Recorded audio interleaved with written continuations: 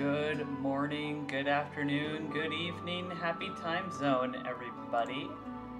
Give me a moment. There we are. Now the captions should be registering. Oh, nope, I do not see that they are. What gives?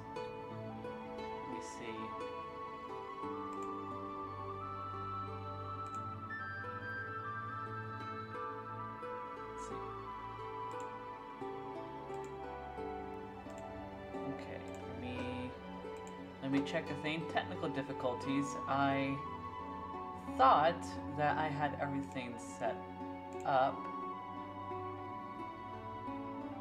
Captions are enabled. Randomly filter is off. Hmm. Well, this is slightly. This is slightly disappointing, but um, having some technical difficulties. But I guess when you are a streamer, when are when are there not technical difficulties? Uh, let me see what I can do. Uh, let's see, application audio output. Let's see. I hope everyone has been having a great time today. I've been doing I've been doing pretty alright. I'm very excited for uh, the next few days. Yet technical difficulties. Welcome to Stream Life. Preach, flippin' preach. Well, because for me, it's also because I got everything for my streaming stuff transferred over to my new tower. Um, so I thought I had everything set up, and I thought I had everything figured out. Turns out, uh, my captions aren't going how they should. so let's see.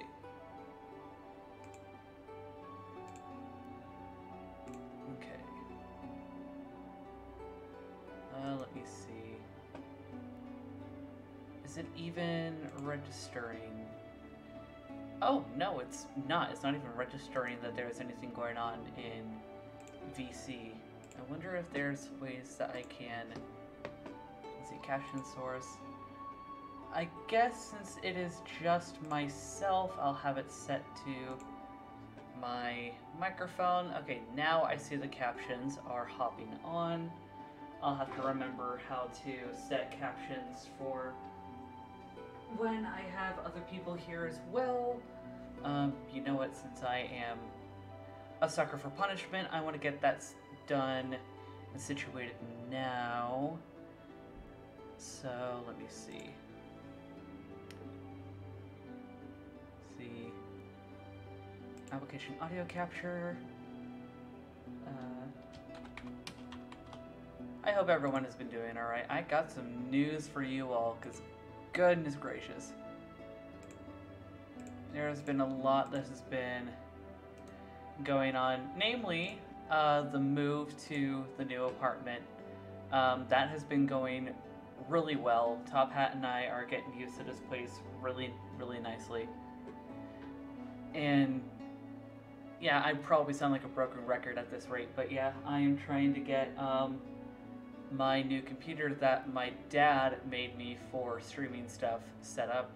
Um, apologies in advance for not the best sound because I don't have any soundproofing in my new office, and my office is huge. It is 11 by 11, and it's like I do not need this much space for a, for an office. I really don't. Let's see. Let me see what I can do. Body sore AF from helping my brother move yesterday. Oh damn. Yeah, moving moving's no joke with how much power that it needs. Like, let's see. Okay, open cat. Uh, let's see.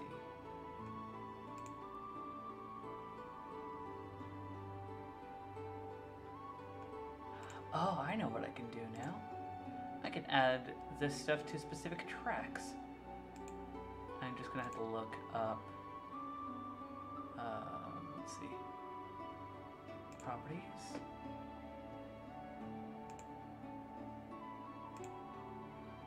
See filter, no. Okay. Alright, um, before I go too deep into this, I am going to get this set back up. Oh, my tablet is not on, so I'm going to set that back up.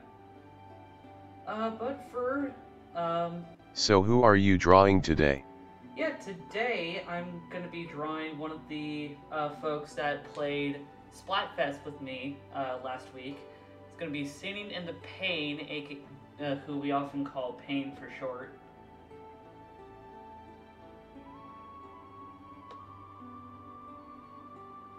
Yeah, sh- uh, for those that want to uh, hear a little bit about her and look at some of her work, um, she is an artist. She's been making her own uh, VTuber models, especially for um, the folks that we played with during Splatfest. Mom was not a gamer and Denene. Um, but she is a. Give me a sec. She is a uh, part Tanuki uh, huntress, and she tends to play a lot of like um, Genshin. So if that's your guys' uh, forte, like feel free to check her out.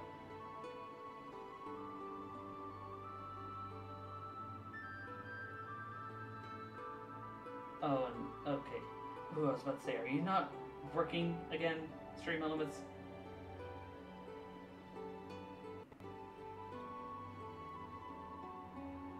Alright. But yeah, I got a sketch here that I did on paper, and now I just have to start drawing and work on her. Apologies if I sound uh, off. I'm not completely centered to my mic, so if you need me to move closer or whatever, or you need me to uh, talk louder, articulate more, uh, anything for you guys to better understand, please let me know, and I will be sure to do what I can.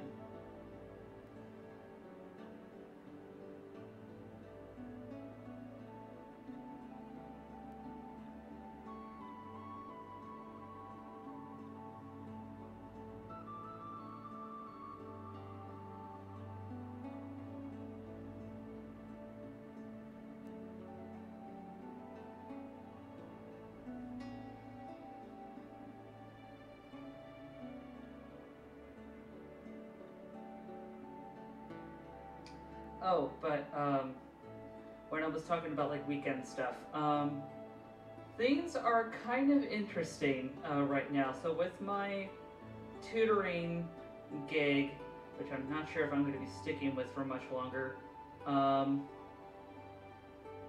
we go by a combo of U.S.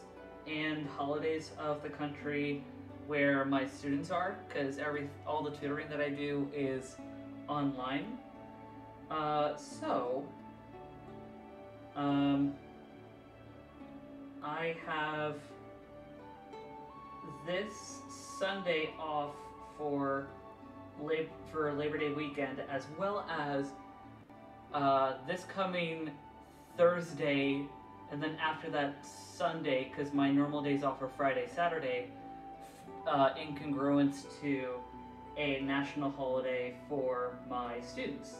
So, I actually have quite a lot of free time coming up, and I'm trying to figure out um, if I want to stream on any of those days, and if so, what people want to see. And I actually have a few polls going on in my announcements in my Discord. So if you want to take a look at uh, at the server, that would be awesome and very much appreciated.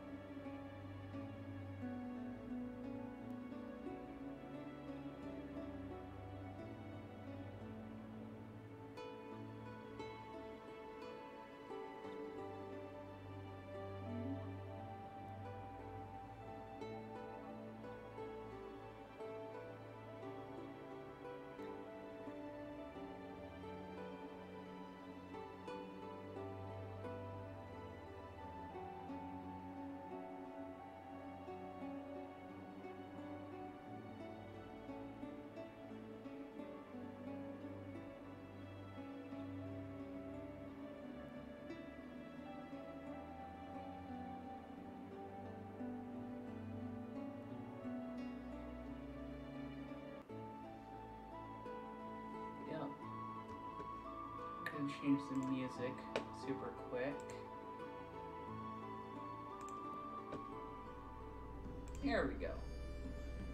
Nice and chill.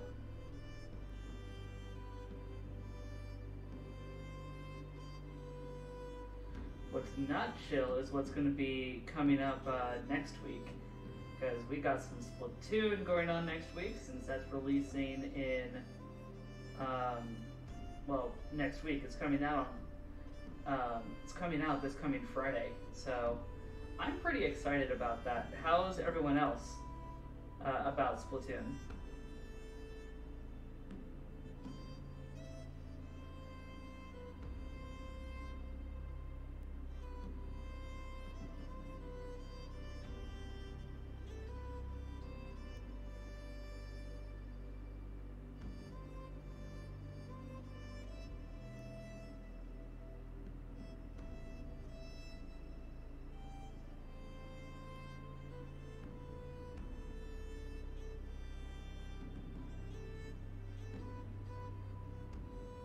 Look forward to seeing how this turns out. Yeah, I'm definitely like pretty excited too. However, I got into Splatoon, like the series, incredibly late, so like I still haven't even had time to finish uh, Splatoon 2. So I am very much late to the party, but I am very curious to see uh, how things are going to turn out.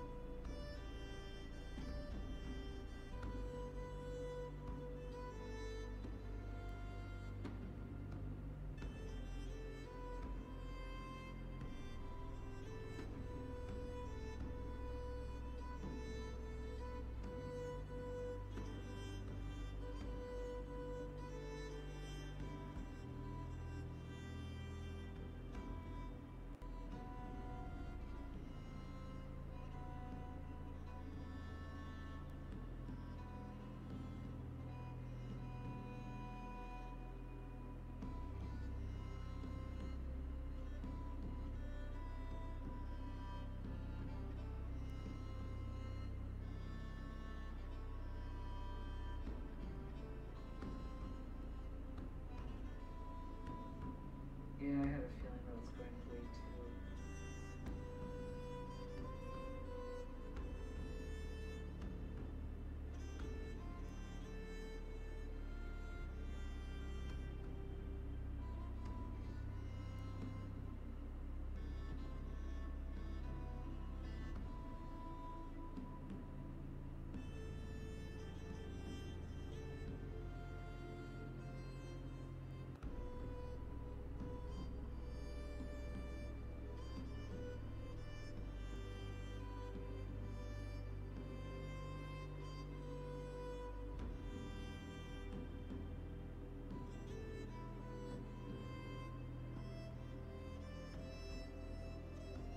By the way, for anyone that is hopping in and also that is hopping in the stream and also is in my server, uh, if you want to sit down and chat, you're more than free to hop in the VC where I am currently doing things for my audio capture.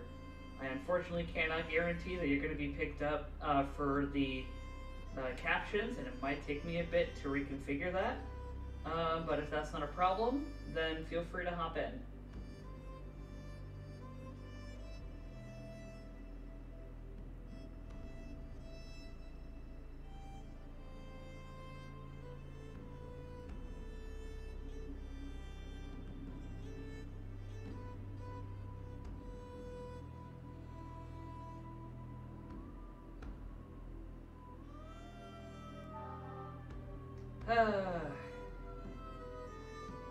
That I get very annoyed with is that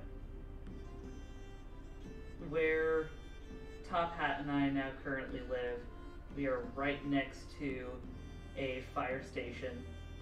So it's like daily we hear sirens go off. And it's nothing at our complex or our building. It's just with us being so close to a fire station, we hear that quite regularly.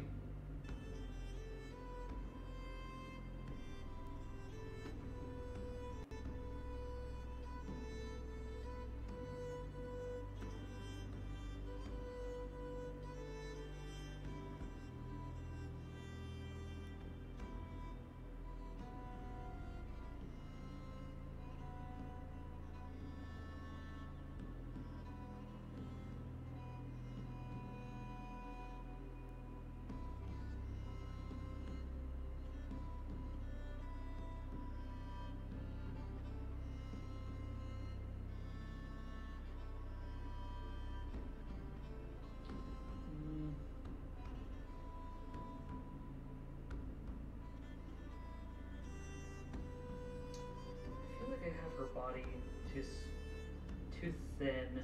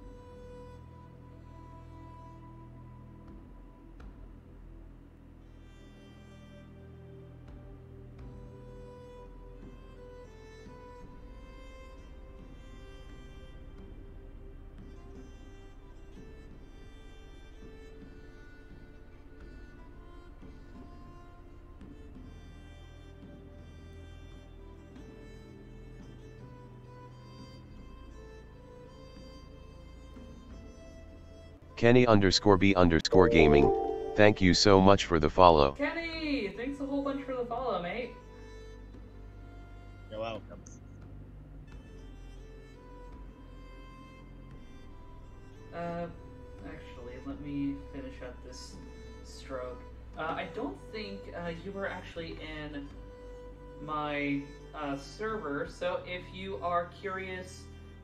hop into my server where you'll get announcements for uh, announcements and polls and suggestions for my streams and also notifications for some of my friends, such as Asterisk Official, who is in the chat with us. Hi Kenny.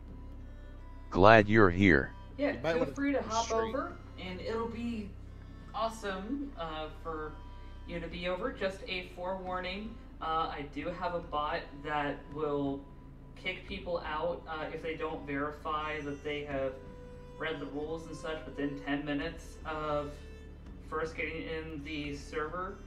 It's only going to boot you. It's not going to be banned if you don't read it in time, but just uh, be aware of that.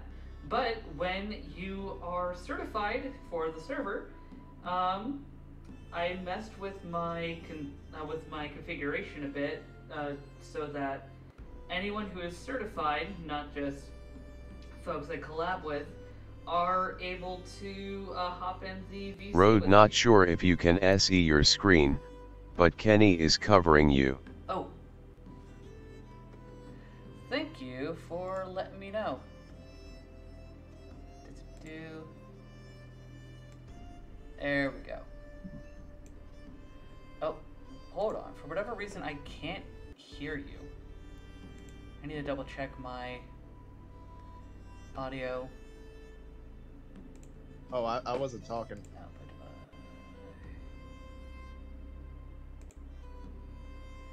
Okay, uh, say something? Something. There you are.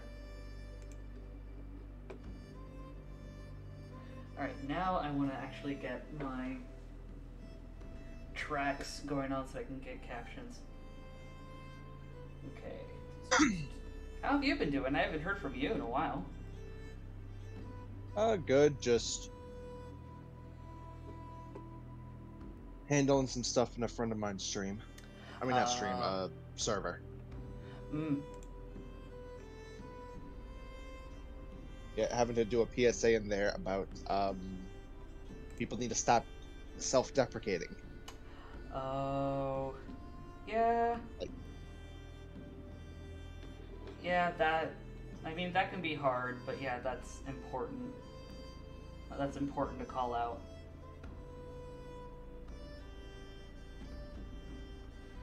Alright, Like, I'm- I'm not gonna lie, I have been guilty of uh, self-deprecation as well. Mm, But the thing is, like, when it's to a point where it's very concerning, yeah.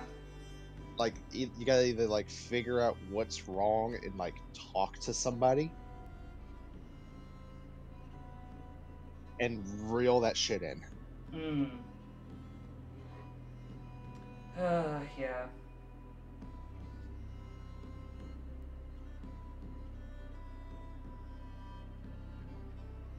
Sorry, I'm wanting to mess with a few things because I normally try to have captions um, for my streams, but it requires setting up a certain set of like I, I need to combine stuff for effectively like a track and i'm gonna have to figure out how to fix that up again Hmm.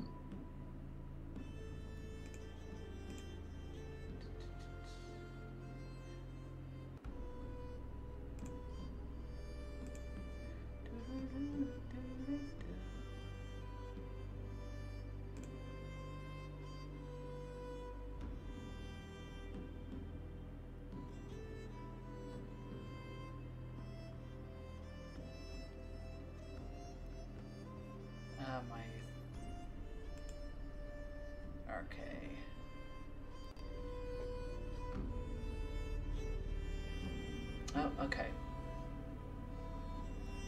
my thing still working? Is it not working? No, it's still working. Okay, fine. Okay.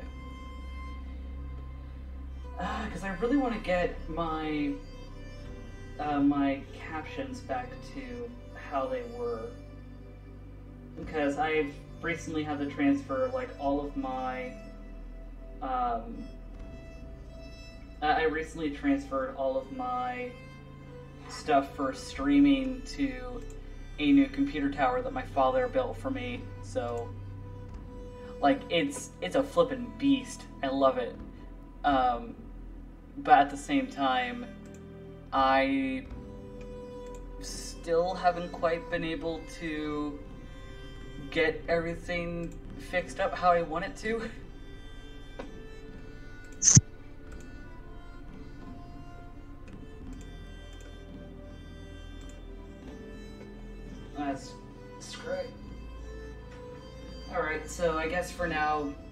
people are just not going to get captions when you're going to be talking, Kenny.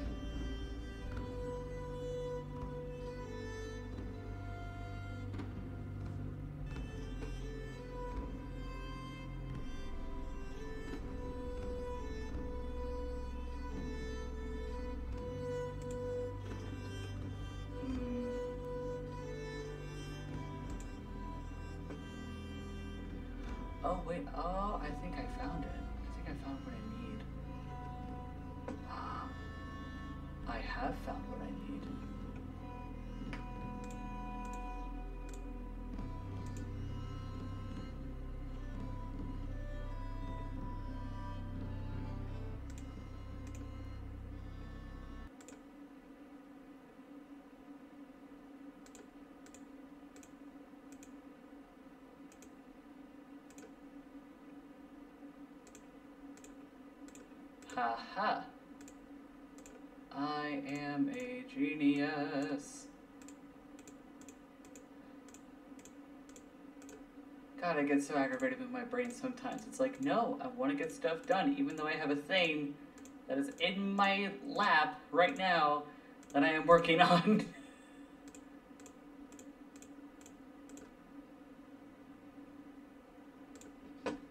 okay, now let's mess with that.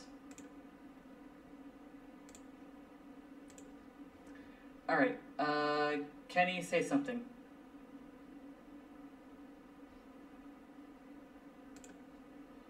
Okay, something's off on my.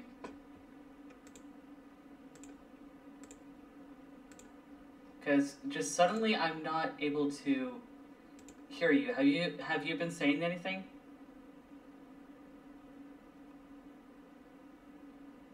No, your thing's not lighting up. I mean, he did say that he's got stuff going on in another server, so. Alright, but okay. That should finally be fixed up to how I want it. Actually, let's move you to center so that I can move.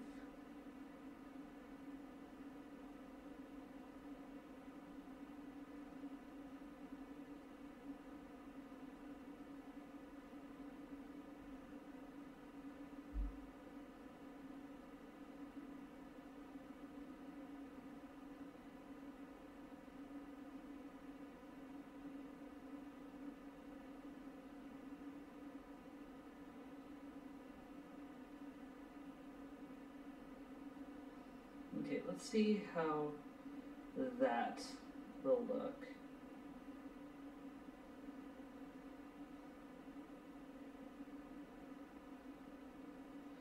Oh, that's looking much better stance wise. Hey, hey, you good? Yeah. Nice. And yes, I got to figure it figured out so that it's picking up what you're saying for the captions. Yes.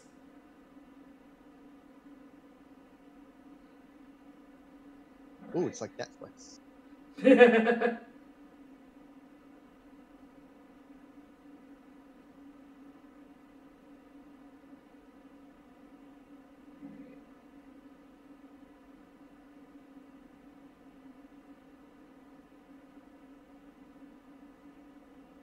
okay.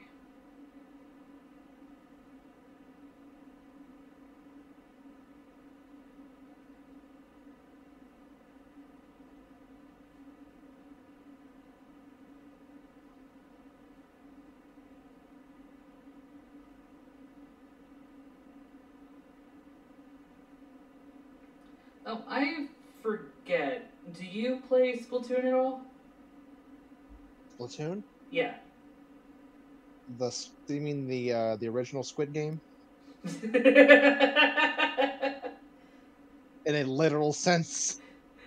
I mean, you're, you're not wrong, but yes. Um, I don't have a Nintendo Switch, so no. Oh, fair. Because, I mean, Splatoon 3 is coming out next week. oh my. Yeah, and I'm planning to um, play that on my game night next week. so when I was in college, we had a game room. Okay. And the most surreal thing to me there was you have a bunch of 20 somethings playing games like Splatoon, uh, Pokken Tournament, you know, stuff like that. I'm not shitting on anybody who plays games that are typically marketed towards kids. Like, if that makes you happy, do do you. It's not my thing personally, but Right. I mean, if you think about it, a lot of games are predominantly geared for kids. Take, for example, the Kingdom Hearts series.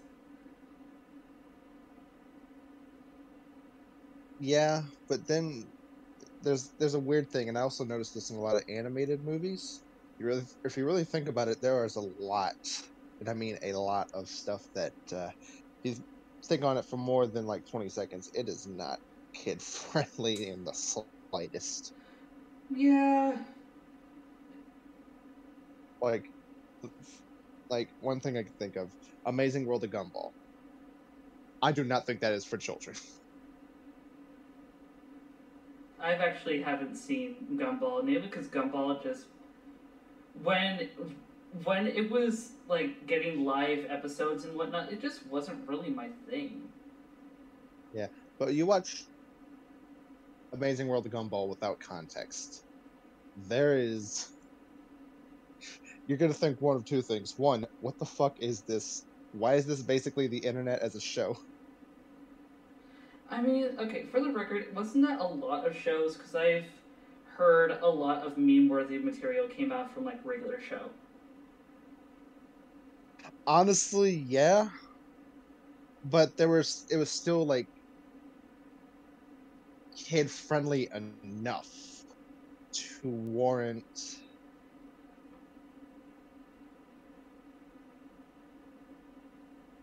a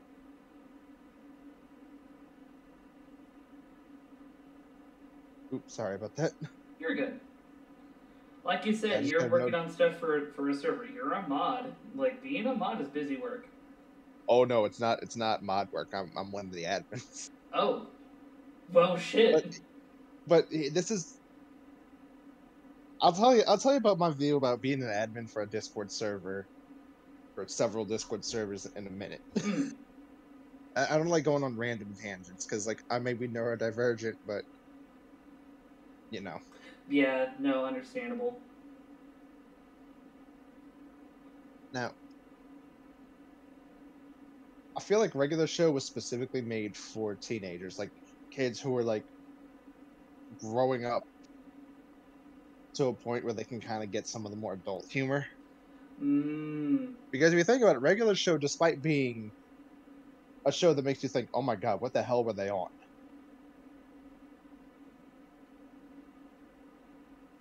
yeah, yeah, I, I see where you're getting, It's got- getting with that. It's got great writing and character development, which you don't usually think about for kids shows. And then you remember you had shows like Teen Titans, you had Sym-Bionic Titan, and so on. Right. And I mean, you still get a lot of, uh, uh, you'd still get some shows with some really great writing today, like with um, Owl House, Gravity Falls. That's because the writers know what they're doing. I mean, you're not wrong.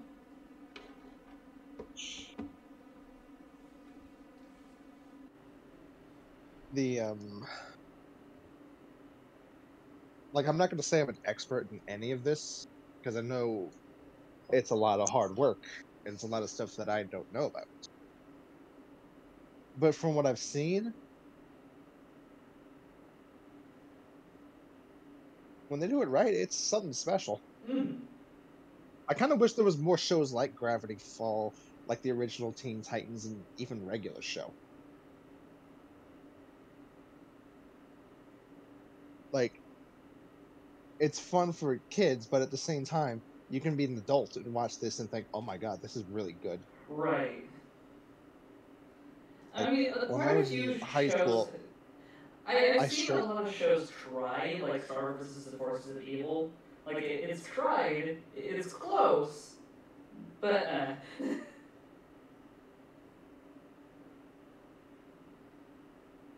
sorry, sorry, I didn't mean to cut you off. No, it's not that. I just heard you echo for a second. Oh, it's like okay, where like echo echo like in chat or on my stream. in chat. That's weird. I mean, I don't Wait. have a lot of stuff in my office right now, so I I need soundproofing like bad. I got it wrong. It's in your stream that you're there's an echo. oh, okay. Oh, I see now. I got it.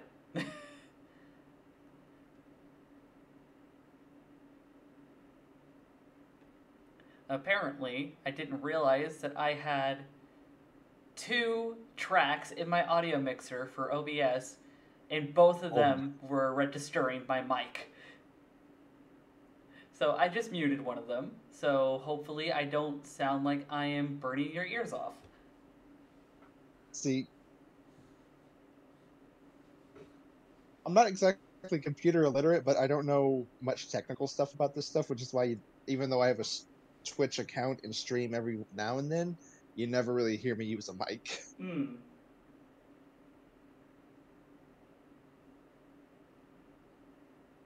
That and you know, you play horror games a lot. Eventually, you do say some words that Daddy Twitch does not like.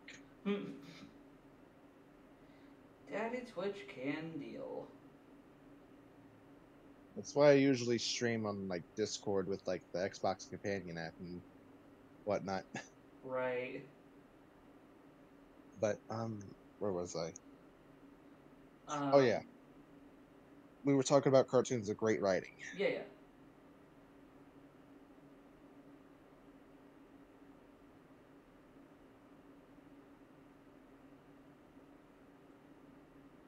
Like I know a lot of the market they're trying to gear cartoons more towards little kids, but here's the thing: you had people growing up watching the Grim Adventures of Billy and Mandy, Ed, Edd n Eddy, a lot of stuff that if you put twenty more than twenty seconds of thought had a lot of really inappropriate jokes. Yeah. And then there were others that tried to like push the bar in all the wrong ways and for all the wrong reasons like Ren and Stimpy. So I never met the creator of Ren and Stimpy, but I met the co-creator, and this was years before people found out that the creator of Ren and Stimpy was. Um, Not a great individual. I was gonna say the uh, cartoonist equivalent of a Catholic priest, but sure, let's go with that. That's another way to put it. And look, the main reason I make that joke is because I was raised Catholic, but I just don't call myself Catholic. Valid.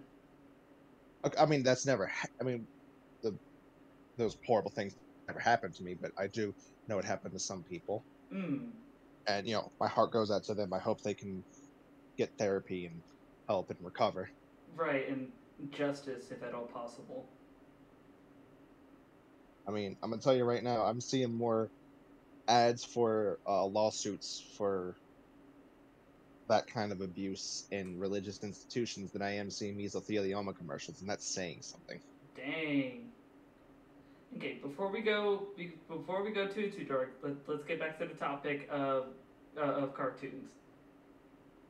Right. I, I will say though, uh, five things. That's three things that survived the apocalypse: Twinkies, roaches, and litigation commercials. Mm.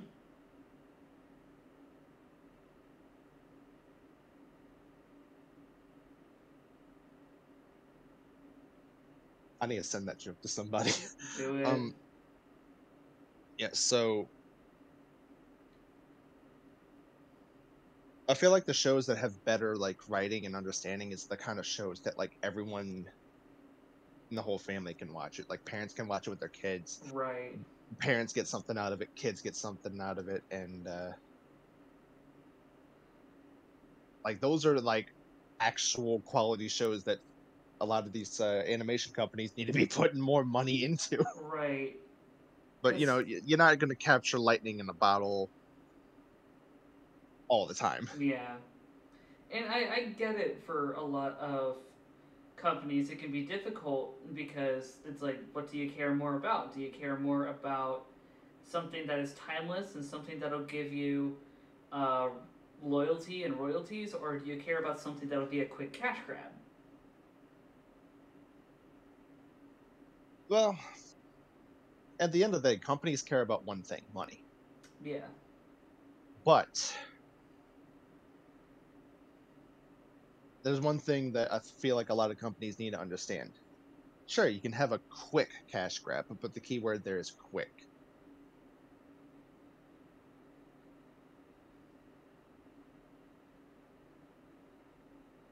You do it too much, and eventually it lowers the value of a brand. Right. No, definitely agree with you there. That's why a lot of people don't take Cartoon Network seriously anymore, even though it was the pinnacle of what cartoons should have been in it like the late '90s, early, early to mid 2000s. Hmm. And then for some reason they had a lot of live action shows, and those were those were kind of cool. Like Destroy, Build, Destroy was my introduction to Andrew WK. nice. I feel like Cartoon Network went to him and said, "Hey, we're doing a show. Do you want to be a part of it?" And he really wasn't doing anything, so he's like, "You know what? Why not?" Right. And then like he went in hibernation until they needed music for Rage 2.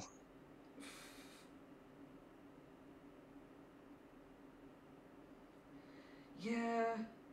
And then you got like I'm a mm, I I'm just more miffed with Cartoon Network and Warner Brothers right now because of them um axing and just purging everything about Infinity Trains. Like, do why? I mean, I could go in depth on that, but like, it's a long rant, and I don't know if I can contain myself with uh, my anger towards Valid. it. I will say though, I am glad the Harley Quinn show is getting another season because I feel like if Warner Brothers canceled that, that's just the final nail in the coffin for them. Right. No, I. With with how popular the Harley Quinn uh, show is, I don't really watch it, but I definitely know some people that would be really miffed if it ever that if it ever stopped. I watched the first two seasons when it was on the DC streaming app, and then after the second season was done, and I kind of watched everything I could on there. I kind of canceled my subscription, and then it it's no longer a streaming app. But all the Mm, all the animated shows on there were moved to HBO Max. hmm.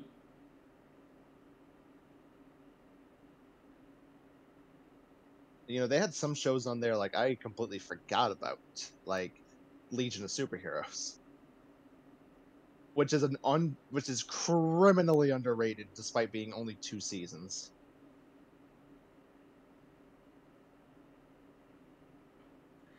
Thank you, Zelda. Hope you're doing well. Oh, Kenny, And- I got uh, before you continue. I just thought of a thing, and I think uh, you might get a kick out of it because it's going to be a bit of a memory lane. So, uh, Top Hat, my fiance, got him and I a GameCube, as well as a little a little thingy that will let us be able to like turn the basically add an HDMI to it. And one of the games that we have is OG Animal Crossing. I'm planning to be uh, streaming that tomorrow night. I saw a uh, video where someone thought of a D&D campaign idea. Uh, I'm just going to skip to the punchline. It's basically Animal Crossing. Hmm, nice. But do you want to know how they explained it? How? All the players are level zero. So, like, everything they're doing is, like, odd jobs to, like, level up. So they can get the Mm. town popular enough for adventurers to come in and train them so they can go on adventures. But the thing is, their their motivation for being in town is they're in severe debt. They get paid in the t- that town's only only form of currency, and their debt keeps growing and growing, and there's no way to get out of it. Awesome.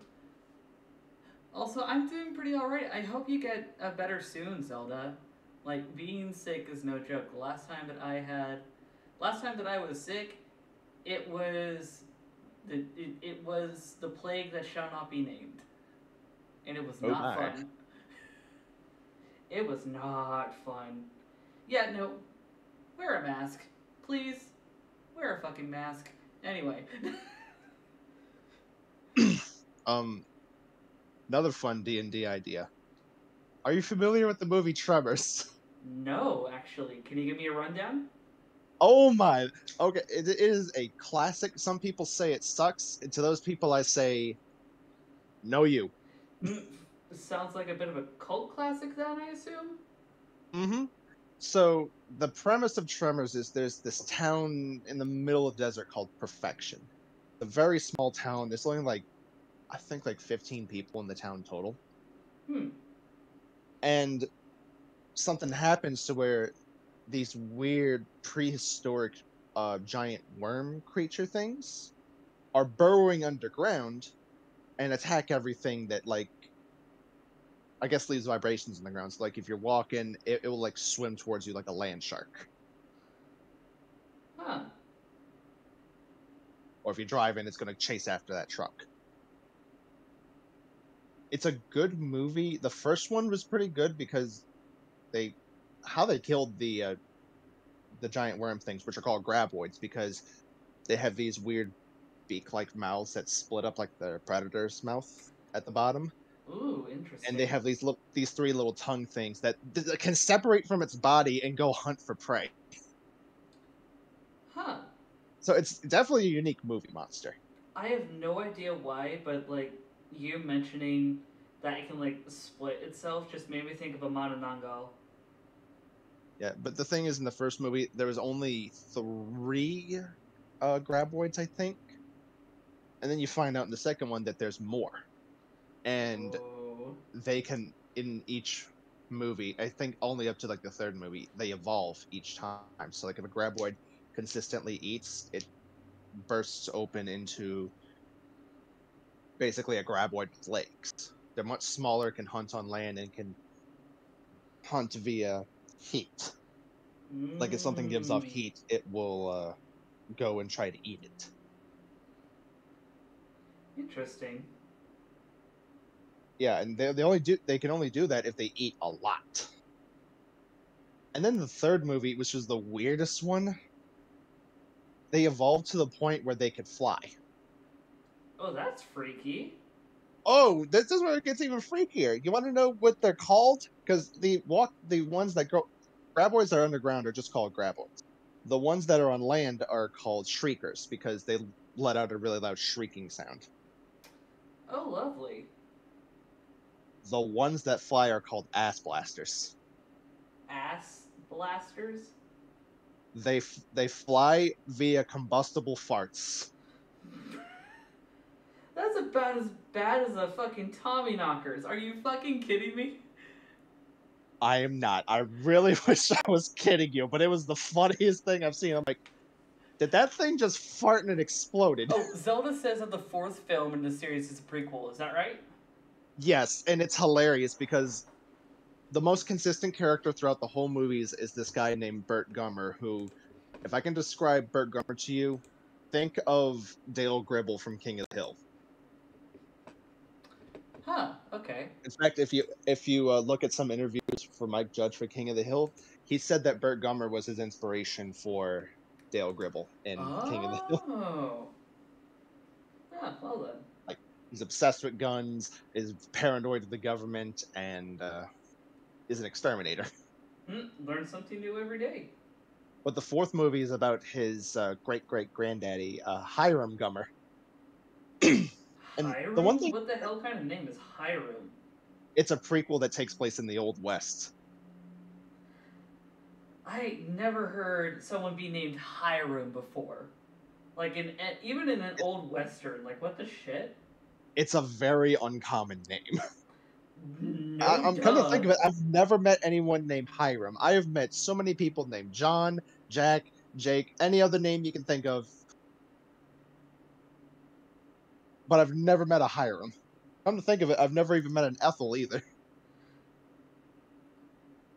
I think I knew an Ethel like in church when I was like super super young.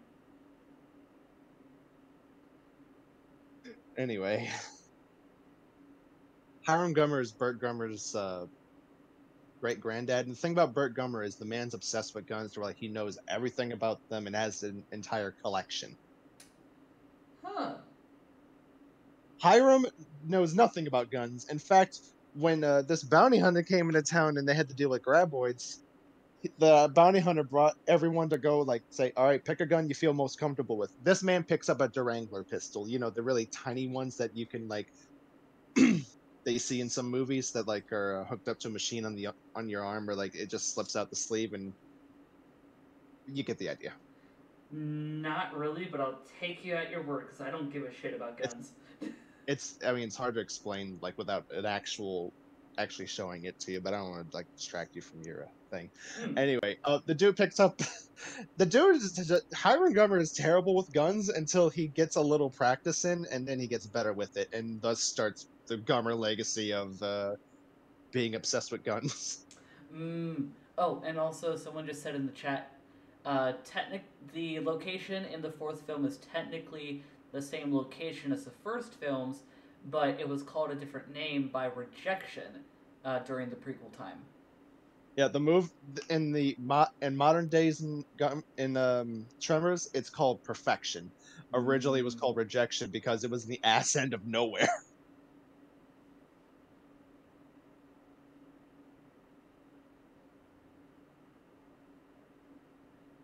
I will say the funniest thing I remember from the third movie is graboids were considered an endangered species, and the government tried to relocate everyone, but they said no.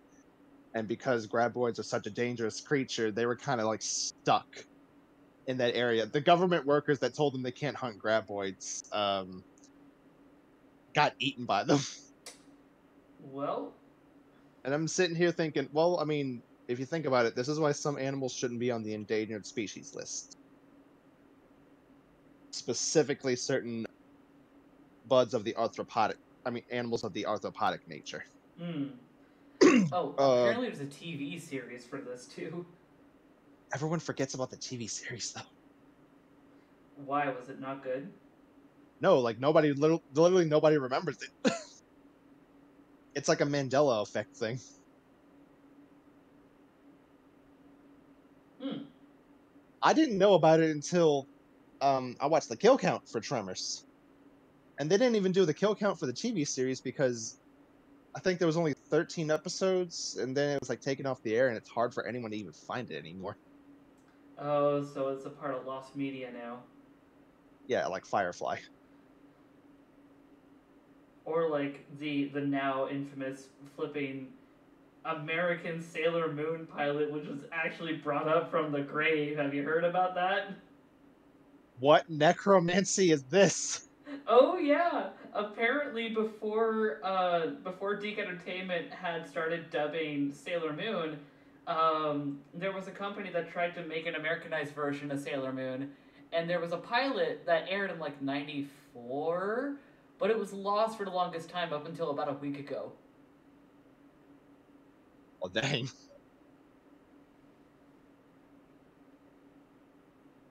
Um. All right, let's see. I talked about cartoons that have really good writing. Tremors.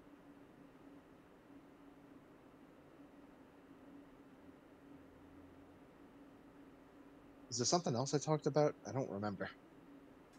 Uh, we were talking about like cartoon shows a bit ago.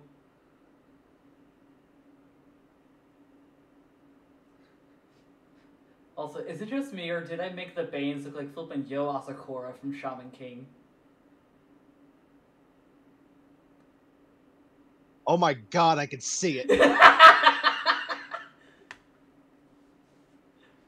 Shaman King is one of my favorite anime. Yo, have you been keeping track of uh, the remake?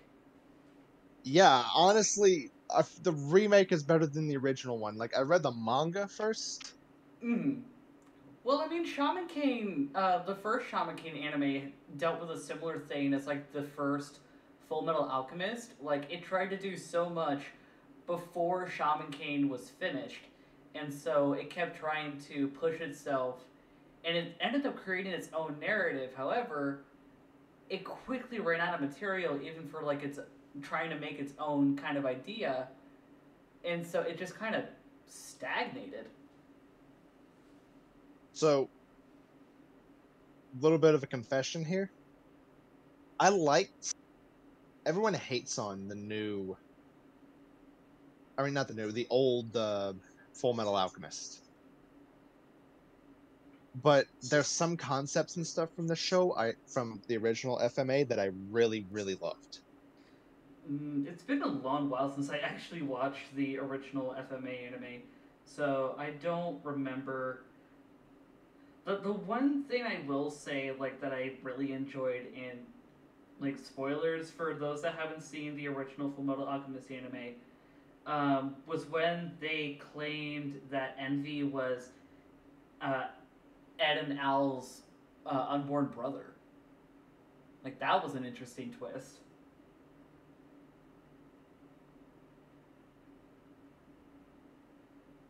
Yeah, I that's one of the things I didn't like though. Because it feels like they only did that just for like a surprise. I mean, yeah, yeah, you're you're not wrong. It was a surprise, but like at the same time, especially for early two thousands, like I hadn't heard of many, uh, uh, of many plot twists that would go that far. If that makes sense.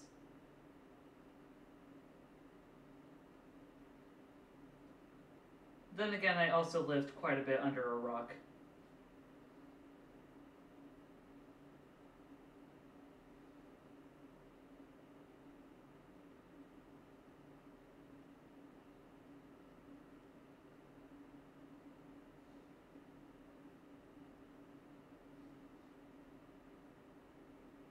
The um.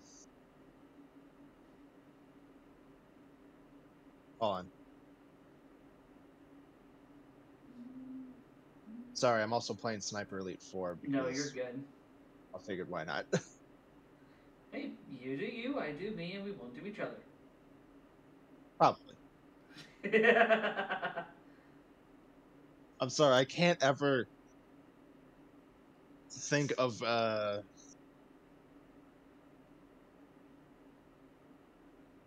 hear that hear that uh quote without thinking of Markiplier. and I did that. I did that because I was straight up just thinking of Markiplier. So See.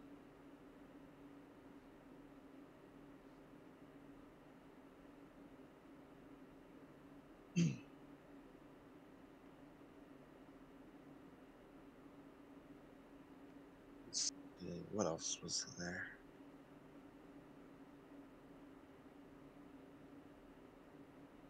Oh wait, I was going to talk about a little bit about Warner Brothers and their whole controversy. yes, there, there's there's you know how like people are told certain things and they usually uh, think it's bullshit mm-hmm. uh, one of the biggest things that people say that i believe that personally i believe is bullshit is when people say oh if you go woke you go broke yeah. because if you really think about this warner brothers apparently the reasoning behind that was because the guy who is in charge of warner brothers is someone who is an avid um supporter of a certain tangerine colored president if you catch my meaning. Mm, and you know he fired so many people put in his people and they're trying to say oh we got to make more shows that are uh, that that are uh, more oriented towards the fans but the thing is you already know companies don't give a shit shit about fans anyway so you already know it means oh they're pushing some right-wing bullshit. Mm, here's the thing they said they fired they cut off so much animation stuff animation projects because they wanted to save money. They wanted to save like a cool three billion dollars. It cost them five billion. Possibly more at this point. Well, damn.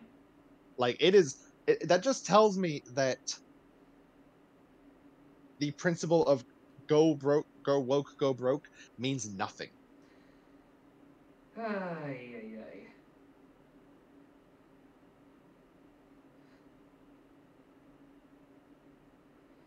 You know. also i feel like people say the word woke and they don't know what it means Oh yeah, no. People do not know what it means, and it's especially. Someone tried to say the new Saints Row was that, and I'm sitting here like, no, it really isn't. It's the, sh- the new Saints Row is more relatable than anything. It's just has a very short story that feels rushed. Hmm.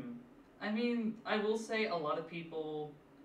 Um, I, I will say in quick little bit of political talk for a bit. Um, so if that's not your guys' jive, feel free to mute. Um, please keep eye on the captions, um, and I'll say when the subject has changed, so that you guys can hop back in. Uh, just real quick, I actually looked up the etymology of the word woke, and it's like it comes from when it, comes from the 1930s when uh, like BIPOC folks were fighting and protesting, like for some of the early 1900s civil rights movements, and woke meant educated. Like the phrase "stay woke," "stay educated," "stay informed."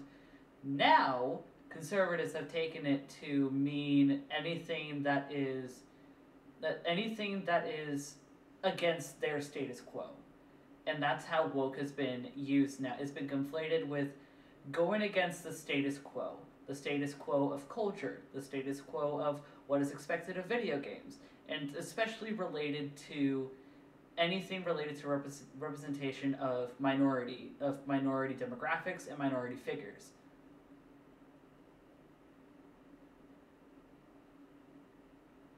You know, kind of reminds me of something I saw on I think it was either Twitter or Facebook. Um, there was a catch twenty two principle when it comes to quote unquote political things. Mm-hmm. Like I'll put it this way: they, some people on Twitter, unsurprisingly, get upset over people making characters that fall out of a um, say a certain race Mm, okay. like they're getting mad over that so you know obviously we calling out the racists here Mm. And they say well why can't you make your own characters? But then people do this and they say well why'd you make it political? I'm sorry is is is there just two kinds of people? There's just people that represent you and then political? Because it's really not you put more than 20 seconds of thought into it. Yeah. Well, again, because a lot of what people call political, especially those that have the privilege to, quote, stay out of politics, anything that is political to them is just content that goes against their status quo, or goes against their jive, goes against their faith, yada yada yada. It's some be anything related to politics is something that is a risk to their foundation because they do not want to change. And they've been in, it's been ingrained in their head that quote that so-called woke culture is propaganda when they don't want to acknowledge or don't have the capacity and that's really bad phrasing just something whether it is them being content in where they are now or like internalized ableism or anything else that hinders them from being able to acknowledge the propaganda that has led to them having the perspectives that they have. this is going to sound uh, odd but not controversial Mm?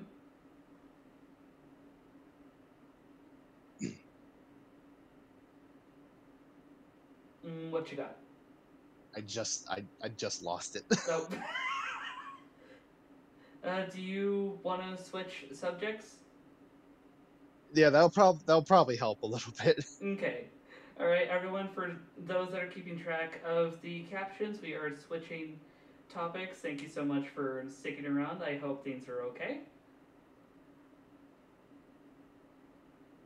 i still can't believe twitch has a captions option it's like watching netflix Well, I mean, but better they do and they don't. Um, with OBS, I had to use I have to use a uh, a plugin, and unfortunately, um, Slobs or Streamlabs doesn't allow third party plugins. Meaning, if you use Streamlabs, you don't have the option for captions.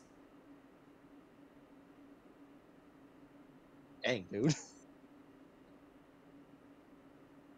Look, other people have have called stream have called Streamlabs slobs because S L O B S, and concerning the controversies like a few years back, like eh, kind of checks out.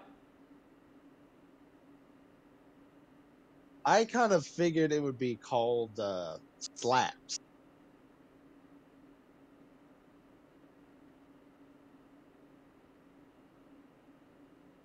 Fair.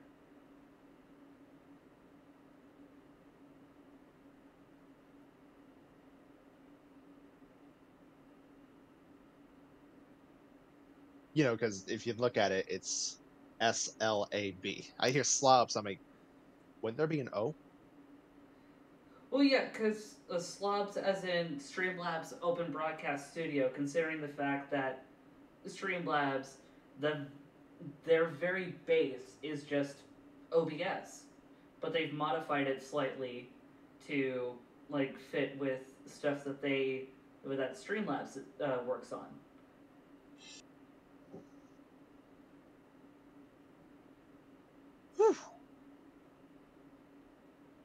Sorry i'm just it it takes a minute to get used to the uh, X-ray shots in Sniper Elite Four. Oof. like, I love the amount of detail they put into it, but then you look at it and you think, first of all, that was impossible.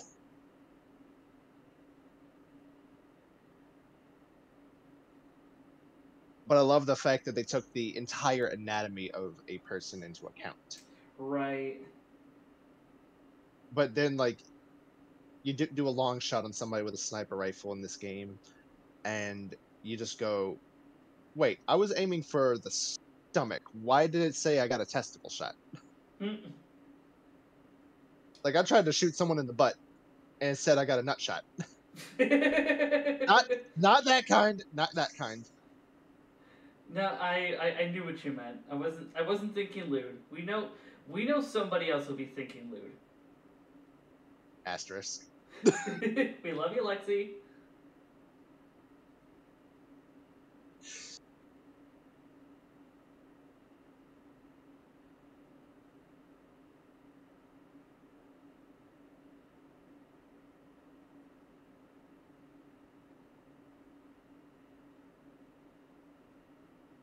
All right.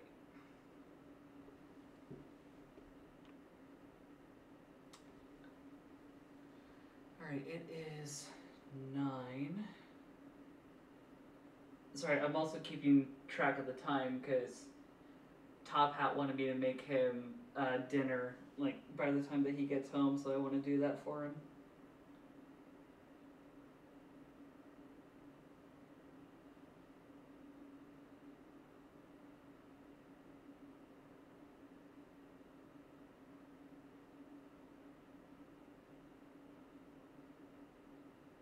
You ever just look at certain uh, criticisms of things and think, okay, people are just trolling at this point? Uh, sometimes, but at the same time, like, I also don't fully understand people's emotions and intentions all the time. So, like, I can't really Well- tell when people are trolling and when people are doing something worse. Well, let me give an example. Um, you know that new Predator movie that came out? No, actually. Okay, so it's a Predator movie that takes place in the 1700s, like way before like the first Predator movie. Hmm. And the pr- basically premise of the new Predator movie, which is called Prey, by the way, Okay. it's about a Comanche healer, you know, Native American healer, Hmm. who wants to become the best hunter in her tribe, and she has to face off against quote unquote the first predator in recorded history.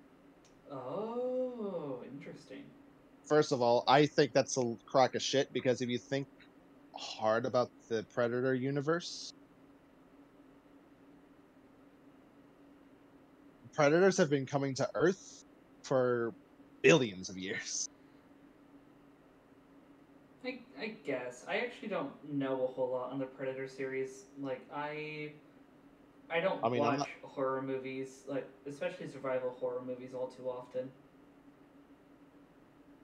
I mean, if you and I'm like more looking at from the lore from the games, the books, Oh, movies and stuff. For, when predators come to Earth, they kind of uh, change certain things about like their armor, outfits, and methods of hunting based on the uh, war- warriors of different cultures that they uh, go up against. Oh, okay. Like you have predators that have like weird ancient Egyptian motifs to them. You have some that have a Viking motif. There's a samurai predator in one of the predator games. Mm, nice. I'm telling you right now, I want to see a movie where there's two, there's two predators, an elder predator and a young blood, who go to feudal Japan, and a samurai training his apprentice have to deal with that predator. That And would the be young- interesting. young blood. Yeah, it'd be. I want to see something like that. I feel like specifically in the Predator universe, a lot of uh, predators are what inspired like legends of like various monsters and demons. Mm, Because it makes sense in that universe, just wouldn't make sense in real life. right.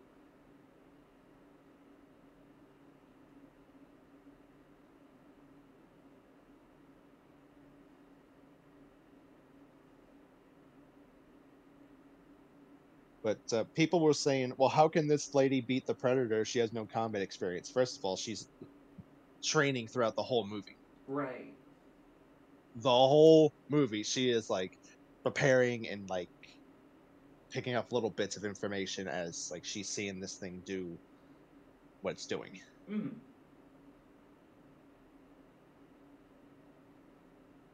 This is my personal experience. Every sci-fi and horror movie follow a very similar formula when you think about it. And what is that formula? People that have no experience fighting certain things or dealing with certain things having to learn quick how to deal with it. Mm. One of the biggest examples I can think of is Ghostbusters. The first ghost they dealt with, they ran from because it scared the shit out of them. Yeah. But the second ghost they dealt with, this was after they made their equipment for fighting ghosts and, you know, got their uniforms and stuff. They had no experience fighting ghosts until that point. Hell, they didn't even test their equipment until they went to the Cedric Hotel to fight Slimer.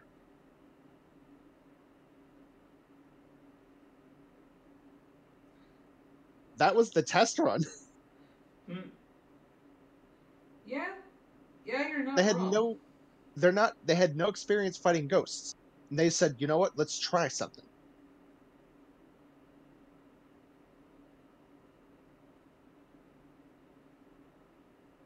And then they caught it and made a smooth uh, three thousand dollars.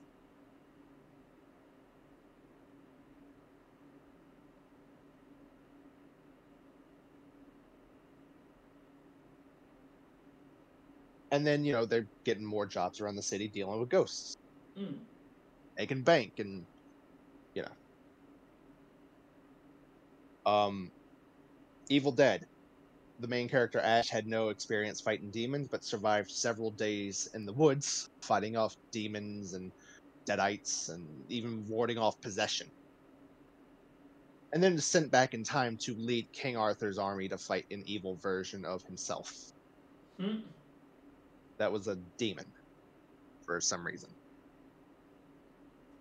Like he Oh. had no experience doing it, and he's like learning how to deal with these things one bit at a time. Mm. The original Alien movie, Ellen Ripley was just a engineer. But she was resourceful enough to figure out how to deal with the alien. In each movie, she learns a little more and more on how to deal with them. Until the fourth movie, which she's a clone with alien xenomorph DNA and is a badass fire. Hmm. The fourth one was super weird because, like, you think after a character dies, that's it. but no, they just cloned her.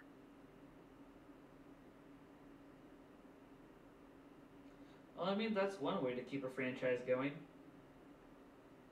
Yeah, but then they never continued anything with her, which is really sad.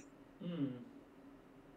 But you look at all these movies and you think, oh, combat combat experience means nothing because it's fighting for survival Mm. or going up against things that people have no business going up against. And they said, you know what? Screw that. I'm still going up against it.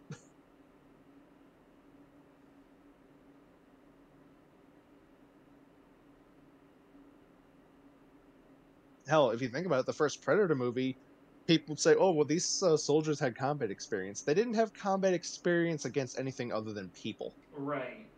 So they all con. So most of them, except Dutch, lost against an intergalactic hunter that hunts for sport.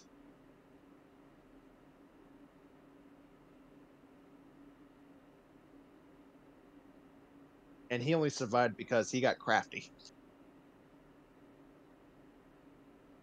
And then, you know, because the thing lost, it uh, had a mini nuke in its wrist bracer and just destroyed itself. So mm-hmm. they couldn't find the existence of a predator.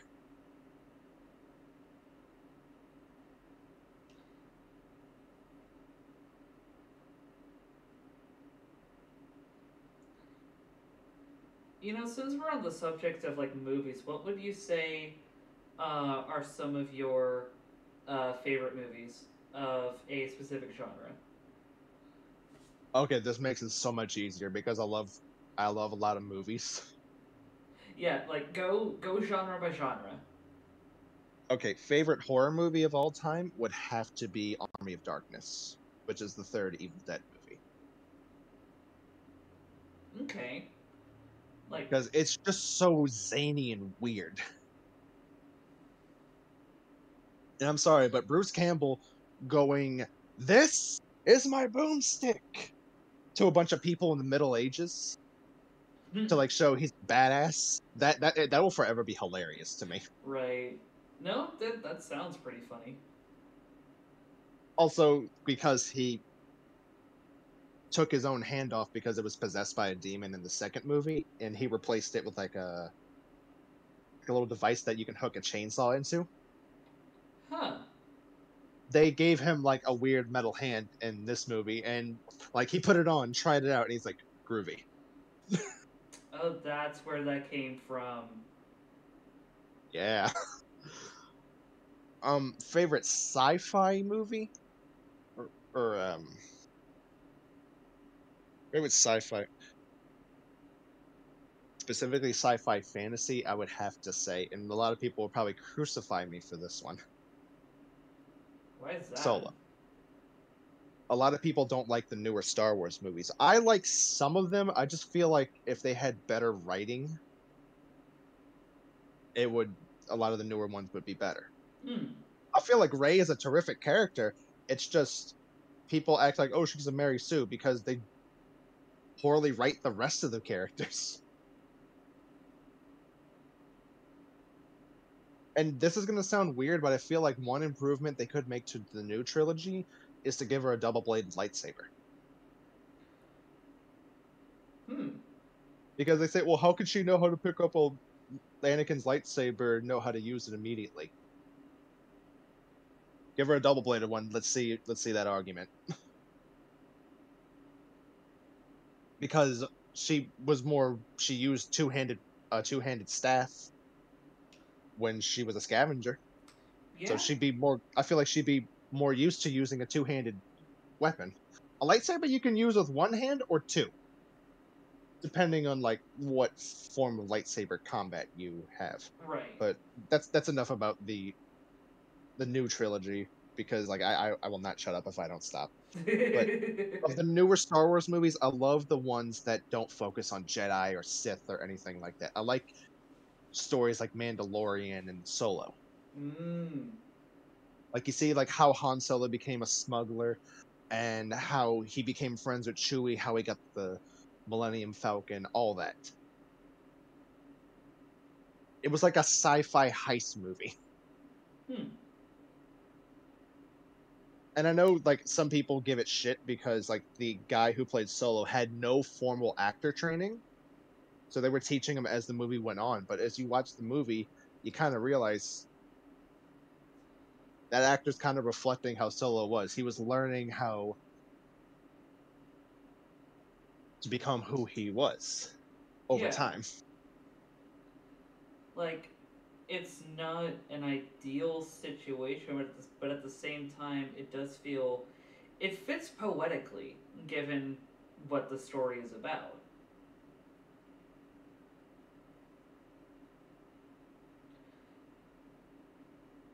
at least that that's kind of my perspective i don't know a whole lot about the star wars series namely because i just that kind of sci-fi isn't quite my thing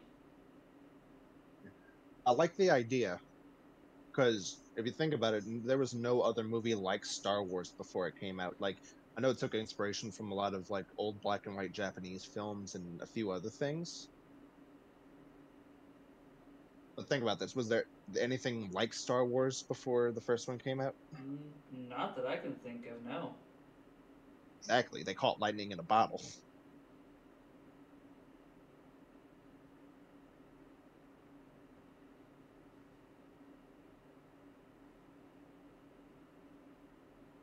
The uh anyway, favorite horror comedy is definitely Tremors 2. Okay, tell me a little bit about that one. I don't know why. I just found it funny when they were like studying shriekers and found out that it hunts based on food because they tossed this thing a cold rotisserie chicken and it just ignored it. Then they tossed it a hot one and it just devoured it. And they realized it's hunting based on heat. Hmm. I just thought it was funny at one point when they had to like sneak past them. They had one guy carry, like duct tape a bunch of like ice packs to him, and he's just carrying a big thing of like ice Hmm. to avoid getting seen. I mean, that's kind of creative if you know that your enemy goes off of uh, noticing things by heat. It's even funnier when you consider when you uh. There, there's a lot of really goofy things in that movie. Like Burt Gummer had a big sniper rifle. He shot this thing with one shot a shrieker with one bullet, and it completely exploded. Huh. It was I'm sorry, but it was just hilarious to me because it was so unexpected. Uh, There's a there's a principle to comedy I like to call the law like this is this may make me sound like a Witcher nerd, but it's the law of surprise. If something is surprising in comedy, depending on what it is, it can be the funniest thing to you. Mm. So like sometimes like something explodes in a comedy movie and you can't help but laugh. Like if you remember a certain controversial movie called Tropic Thunder, one dude got out of a helicopter, took like three steps, and then stepped on a landmine, and I'm like, I know I shouldn't laugh, but it's hard not to because I did not see that coming. I actually have not seen that movie. I It's am a really, really not that much of a movie. goer. It's a really bizarre movie. I'm gonna just let you know that right now. I mean, what kind of bizarre? Are we talking about Satoshi Kon's Paprika kind of bizarre? Are we talking more like Mr. Bean or uh, If you do live a- action Pink Panther kind of uh, kind of weird? if you look deeply at the movie Tropic Thunder, it's making fun of Hollywood as a whole. Because each character is like an archetype of various Hollywood actors. You have Robert Downey Jr.'s character, who was a, who in the movie played an actor who was a method actor, who does some very, very questionable things. You have Mm, Jack Black's character, who was someone who was super famous, but like kind of fell from glory because they got really addicted to drugs. In his character's case, cocaine. Huh. Uh, you have Ben Stiller's character, who's just this fa- really famous guy who's a washed-up actor who's just trying to regain a little glory. And I think there was like a few others, but like that's usually the archetypes you think of when it comes to Hollywood. And they wanted to make a movie based on v- the Vietnam War, so they went to Vietnam, and they it's things just go wild from there. Hmm. I think the dumbest thing from the movie was when Ben Stiller was alone. He was attacked by a bear, and then he realized after fighting it to the death that it was a panda bear, and he's like, "Oh, oh shit! I just committed a felony." and he's wearing the he's wearing the belt.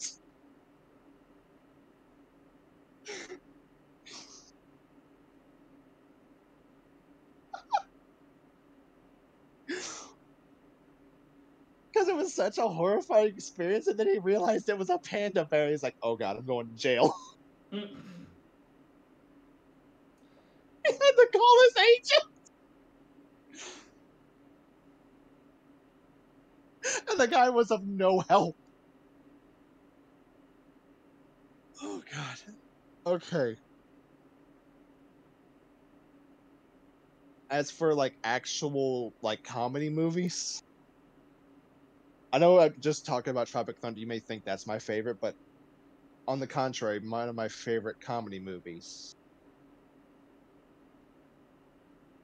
is Jay and Silent Bob Strikes Back. And what is that one about? Like, Are you gi- give me are a you familiar? give me a synopsis of like all of these movies, because nine times Okay. out of ten, I really have not seen them. I have lived under a rock. Okay, Jay and Silent Bob are characters from a franchise called Clerks. It's a really weird I think it was a comic at first, but then it became a movie and then an animated series and then another movie. Jay and Silent Bob are these two guys who hang out in front of the uh, quick stop that the main characters of Clerks work at, and they usually like sell like uh, fake wallets. They sell. they smell. They sell. Uh, let's let's say oregano for the censors Okay. and uh, they're basically like the shady guys that you usually see outside of gas stations. But one of them is Jay, who is obviously a stoner, and the other one is Silent Bob, who is his best friend, who does not talk much, and when he does talk, he's like super super smart. So kind of like the Penn and Teller sort of duo. Yeah, uh, now that you mention it, I think it, if you look at Clerks, it's kind of like Penn and Teller, but the side characters are also Penn and Teller. Oh, okay. because there's four there's four characters four main characters well two but then there's like two side characters that they're kind of like c3po and r2d2 in star wars Right. Two protagonists there- and two deuteragonists. they're there- yeah they're there but they're uh they're still put on the lunchbox even though they don't do much So again, two protagonists, two deuteragonists. yeah Okay. and then they have a new clerks movie coming out where one of the guys has a heart attack because he's getting old. And he figured you know we're always watching movies. I think we should make our own movie. And the dude wants to make a movie where it's just about him and his friend working at the quick stop. And they're just saying shit that they've been saying over the years. Mm.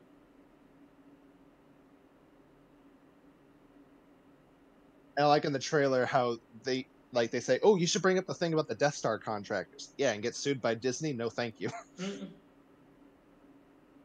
Oh, you should put Jay and Silent Bob in it.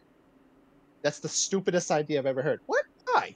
Jay and Silent Bob are like C3PO and R2D2. They, they've been there from the first movie. They don't really do much, and then they uh, they, they still put them on the lunchboxes.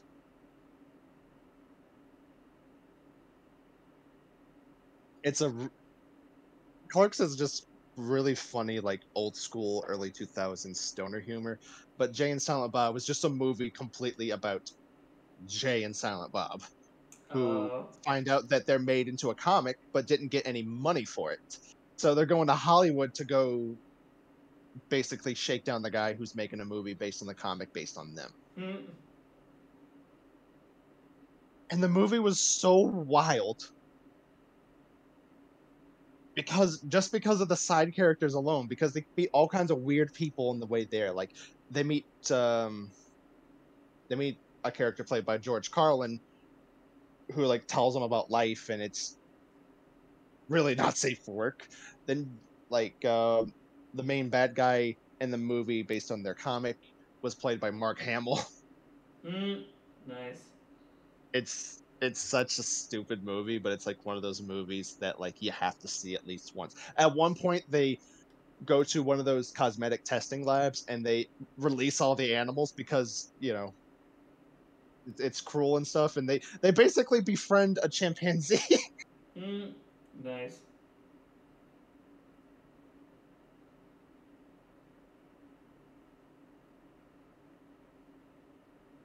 so all right. We went over favorite sci-fi, sci-fi comedy, comedy, and horror. If I had to pick a favorite action movie, it would have to be Hotel Artemis. I Haven't heard that one either. What's that about? Th- This one I thought was really interesting because it's a it's kind of a cyberpunk movie, but not really. Basically, there's a hotel in this town that's specifically made for criminals. It's like a members only club. And it does everything from being able to 3D print a liver to suturing like wounds. And the premise of the movie is there's these bank robbers who rob a bank and basically steal something valuable to the most powerful criminal in the city, who's played by Jeff Goldblum.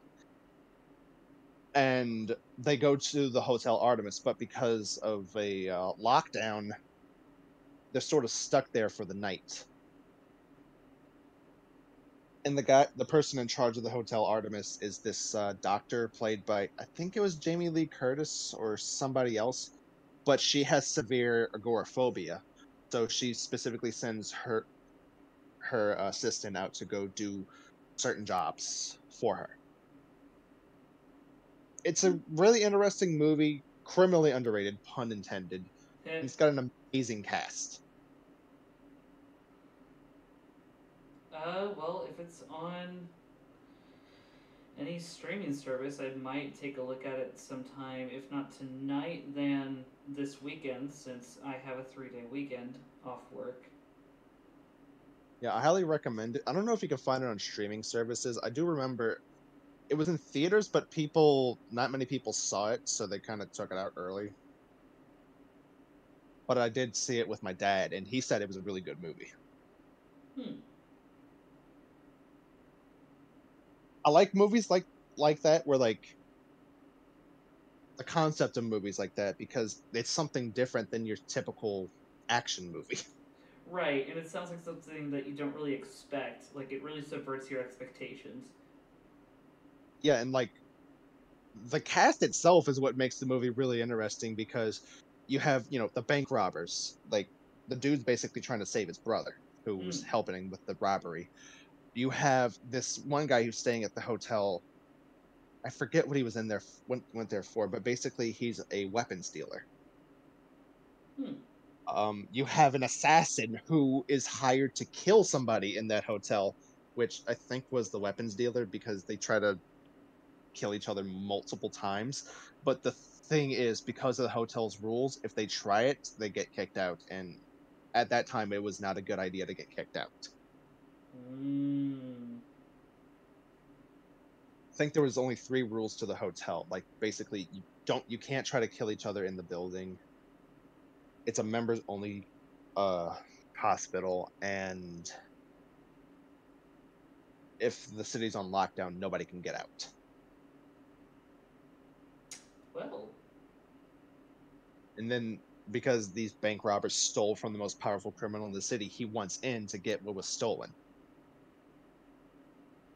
The weird thing is, if what was stolen from him was this weird pen that apparently held billions of dollars worth of gold in it.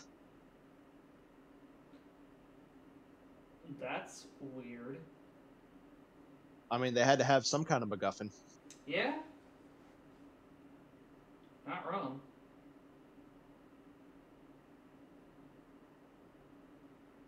Um, if I had to pick a favorite animated movie, and this is probably going to sound so cliche, Atlantis: The Lost Empire. Dude, fuck yes. That is a criminally underrated movie. That is a movie that if Disney is working on remakes, remake the movies that people want. That is the movie that got me into conlanging. Straight up. Like, not even Star Trek. Like, as much as I love Klingon, no. It, it was Atlantis. I mean, frankly, Okrand, Marc Okrand, he made Atlant he made Atlantean too. He didn't just make Klingon. So it's funny how I still got inspired by him regardless. The only complaint I have from that movie is how did the Atlanteans know all these languages, but they didn't understand the one- like their own language? I mean, I It will, I, seems will, like I will say this from a role building standpoint. They pro so they probably learned how to focus on other people's languages and the writing systems there, but with how much they prioritize learning other languages, they probably lost the ability to write in their own. And there's plenty of languages, like especially a lot of indigenous languages that don't have writing systems. And it is very possible for languages to lose writing systems just as much as they can create writing systems. The thing that sticks out to me the most from that movie, though, is they make it like the Atlanteans never left Atlantis. I mean, they So it's kind of really- couldn't, considering the fact that they were in a giant bubble. Yeah. But like it just comes it just like begs the question like how do you know all these languages but nobody's ever come to Atlantis? That is a fair point because, like, with uh, yeah, the world building is like- very weird because, like, with how Marc Okrand tried to write, well, not just Marc Okrand, but the lore of the movie tries to write Atlantean and Atlantean culture. It is for uh, Atlantean is meant to be like the proto-human language. It is meant to be the base language, which is controversial in and of itself from a linguist perspective, concerning the fact that a lot of the influence that Okrand takes for Atlantean is primarily Indo-European. There is no, there, there's no Koreanic, no Japonic, no Afro-Asiatic uh, languages like anywhere. It's all solely Indo-European influences for Atlantean as a language. But also world building wise, it's like Atlantean is meant to be this proto-human language, this Tower of Babel language, the source of all other languages. Trying to imply then that all other languages come from Atlantean, and so there's supposed to be some sort of diglossic or multiglossic kind of situation where you have Atlantean as a language of antiquity among these people, and yet they're still also able to use French, German, all these other languages as extended languages, like natural, like casual village languages, whereas Atlantean is still preserved as like a like a lingua franca for the Atlantean world. That is very very complex and very hard to execute that in, for the lore.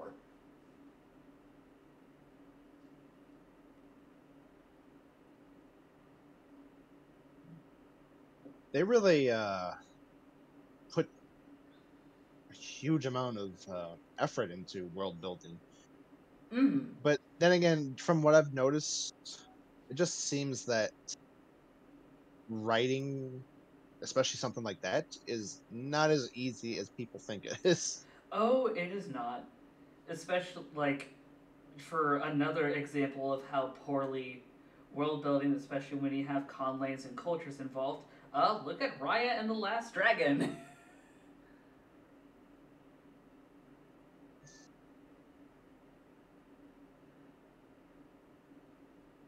Now, I know this is probably cheating,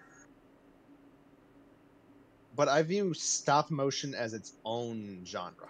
no, that's understandable. and because and here's the thing I find funny. Every th- I have not heard one of one bad stop motion movie. Even though like the, they Hollywood went to a shift to making more CGI movies, Mm. but when they use stop motion, somehow something stood the test of time.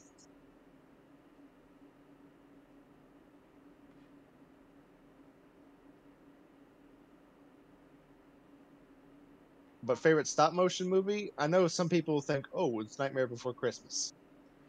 That's a good one, but you know, you see a movie eight times, you already know how it's gonna end. Right. Like that's that's a nostalgic movie, and I I get why some people may say like, oh, that's their favorite because of nostalgia, but nostalgia really shouldn't be like the be all end all for what what you may consider a favorite movie.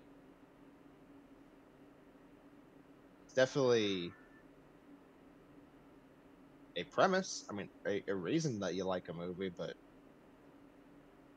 you might like something and then grow to not like it. As an adult. Right. Exactly. But favorite stop motion movie, I would have to say, is uh, ParaNorman. That is a really good one. Can we talk about how ParaNorman had the first canonically gay character Yeah. in uh, animated movies? mm-hmm. It was a character you least expected. Right.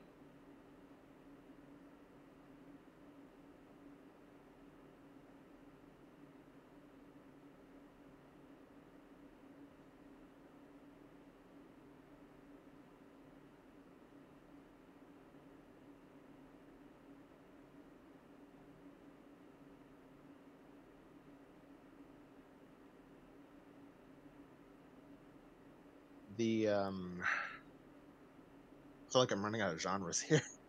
Um, rom com. I specifically avoid rom coms. I mean, valid. Well, not for the reason people think. Oh, people think, oh, well, those are just dumb chick movies. No, the reason I avoid rom coms is because I feel like a lot of rom coms reinforce some very toxic and unhealthy ways of viewing relationships. Oh, definitely. And also, I'm just sorry. a lot of rom coms that I've seen just. There, there's a theme of not so great writing. And that just reinforces, like, the toxic, like, especially in regards to, like, the male love interest, toxic masculinity in regards to perception and things. And also toxic femininity with, like, how much the the female protagonist has to change or, like, push herself, go out of her way to try and get this love interest.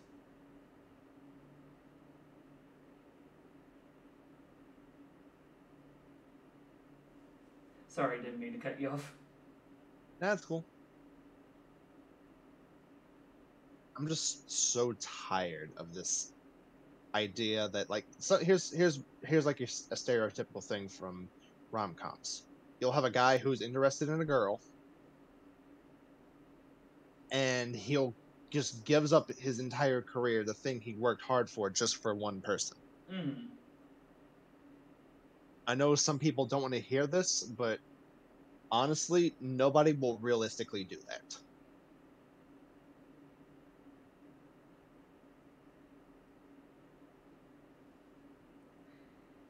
Yeah. like doing like what you spent your whole life working for and then giving it up for one person like first of all that person i hope is really really worth it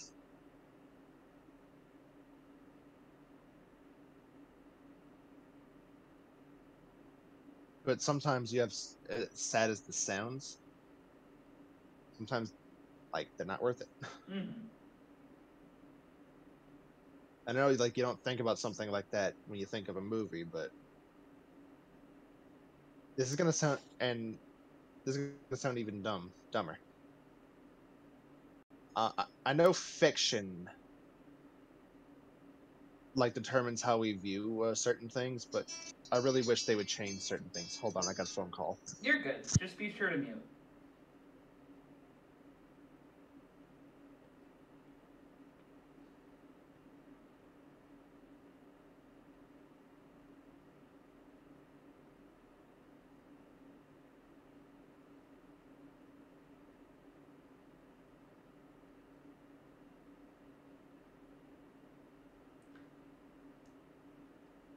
I hope everyone has been doing today, uh, doing well today. By the way, it is now nine forty-five, so I think I may actually go to take a break super quick. Um, not only so that I, because I promised Top Hat that I would uh, set up dinner for him for when he gets home, because he's been busting his butt lately, and I want to be supportive. Um, but also, my iPad is hot. It is like hot, hot. And I think it'll be good to let it have time to rest. So I think by the when I finish up this line art, um, I will. Like I'm just about done. I just need to make the smirk. Oh, I need to make the the blade of the Buster Sword. Fuck me sideways. Uh, oh, and I gotta make the the guard. But when I get all of that done and taken care of, I will uh, take a break, uh, turn on the oven, um, give my iPad a break. I hope everyone is doing well. For those that are just hopping in, I am Road to Dusk. You can call me Road, Dusk, Roadie, whatever else. Just don't don't call me anything that you wouldn't call a friend. Um, I am a variety streamer that is currently trying to get up to affiliate. I am trying to get my views up. Um, I tend to do a lot of really chill content. Um, I have a lot of influence from casual streamers as well as political streamers, so do not be surprised if at some points I do bring up some political topics.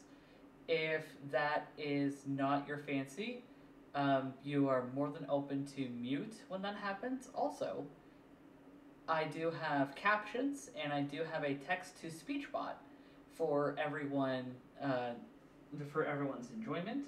Um, please use that accordingly, accordingly and sensibly, or else I will have to revoke everyone's privileges regarding uh, regarding the text to speech, especially because that is meant to be uh, accommodating for folks with the folks that struggle with reading, and captions are meant to be for those that struggle with hearing or struggle with processing in various degrees. So,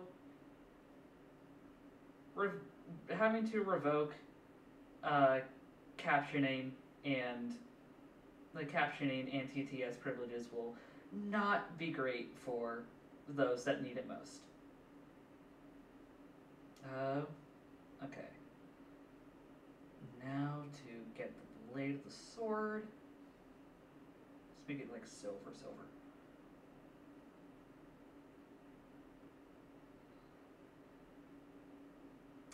Oh, I just realized I've just been having this based on. Oh wait, no, this can work.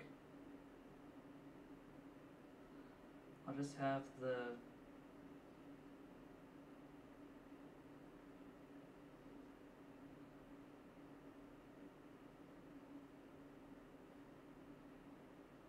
Okay, so two things. What's up? I didn't realize this because of uh, Discord and Twitch's delay, Hmm? but your stream picked up my ringtone. I didn't notice what your ringtone was, honestly. You're gonna think this is a little goofy, but it's the theme song for the new Saints Row game. I mean, you do you. I know some people might judge me for that, but I'm just sitting here like, look, here's the thing. Saints Row Saints Row may mess up some things, but there's one thing they never mess up, it's music. Fair. There's some games I play specifically just because I like the music.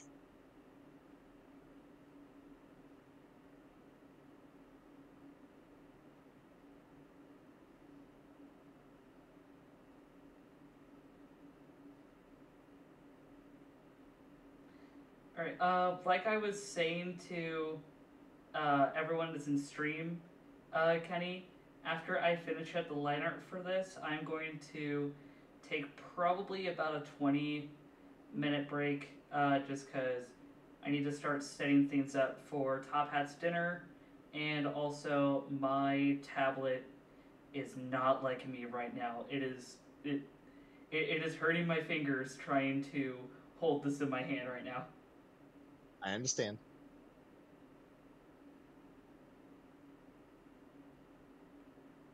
But yeah, I'm. I still got a little bit left to do for the liner. Like, okay, only thing that I have left is the guard. I'll have that the same color as her pants. Uh. I didn't think I could do that. What? I finally uh, purposely pulled off a testicle shot in Sniper Elite. nice. It did the X-ray and everything.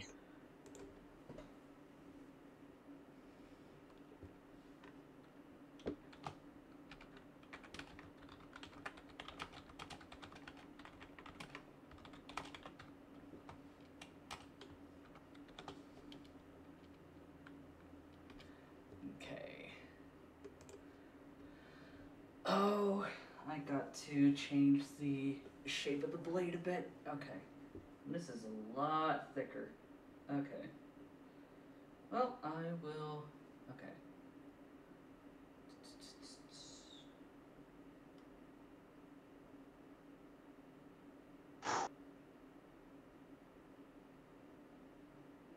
Um, are you still gonna be in VC or? Uh, I'm probably well. I probably will. Uh, I'm thinking of when I have to uh, take my break. First, I also want to like get water and all that jazz. So I'm gonna be AFK for uh, for a bit during uh, during um, the the break. Understandable.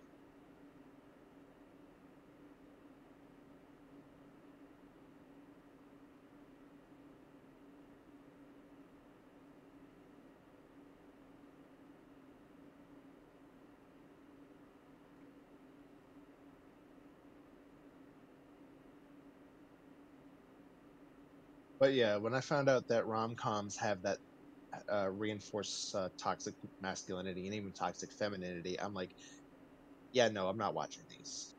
Understandable.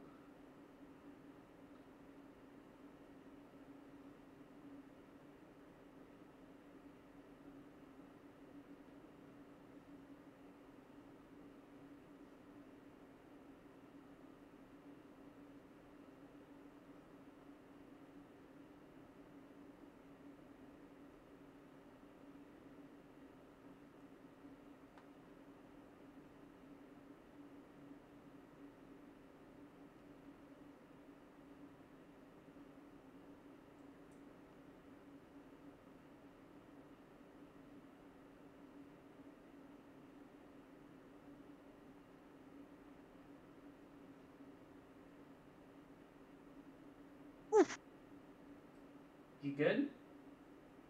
Yeah, this Sniper Elite is a game where you gotta be smart about everything. And somehow I haven't raised the alarm yet.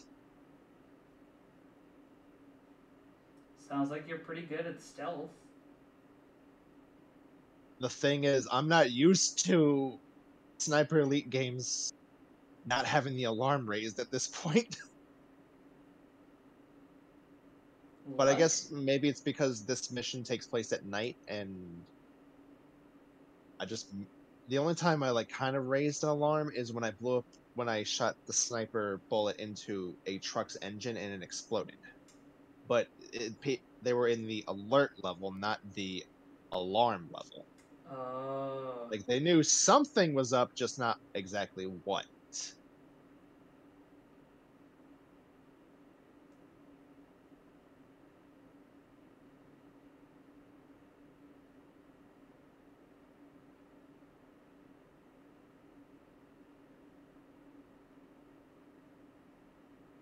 And it's even more weird in my opinion because I am not used to uh, being this patient. Hmm. Maybe it's a skill I learned. I don't know.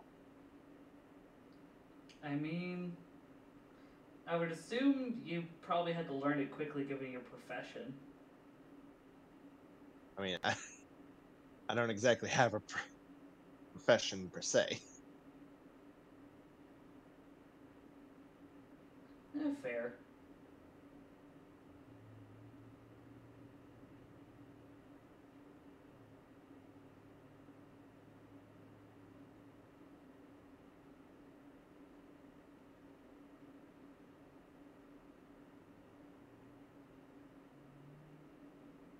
But yeah, if I can compare Sniper Elite to any other game, it would probably be the Hitman games. Except the Hitman games, you get penalized for taking out uh, people that aren't your target. Hmm.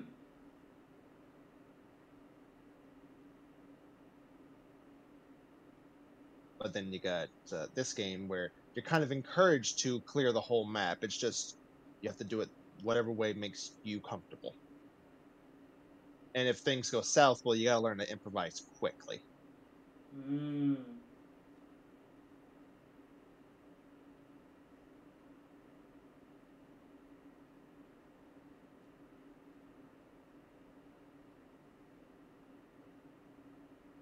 Like the mission before the one I was doing, you had to go take out a uh, train that's uh, you know parked over a bridge, and the train has a big gun on top of it. Hmm. Yeah, so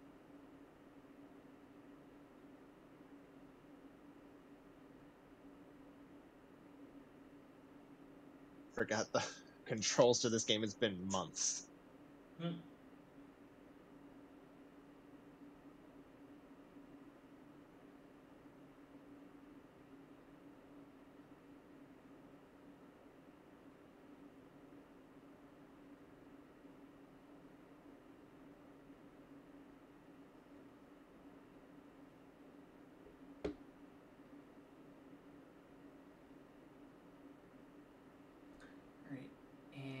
there's a little pommel, and there's also a little thing before the guard.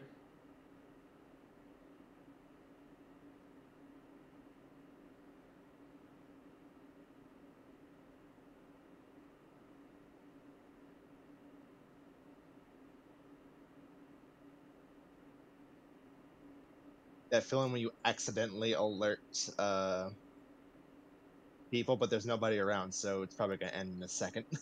Hmm.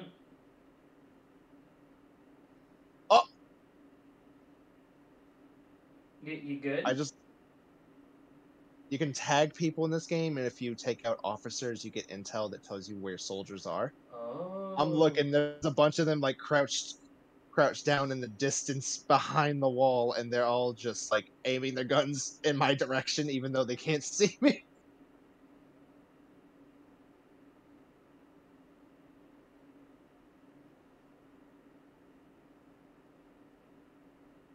This game is hilarious sometimes. Because of the AI? It's specifically because of the AI. Like it's smart and it's reactive, but other times it's questionable.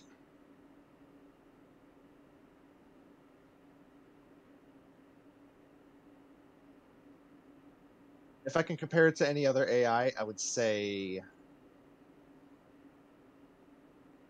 Metal Gear Solid 5. Mm, okay.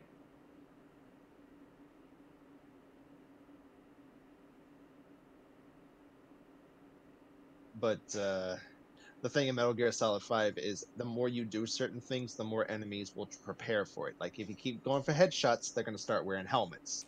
Oh. You keep going do missions at night, they're going to put more guards at night. Hmm.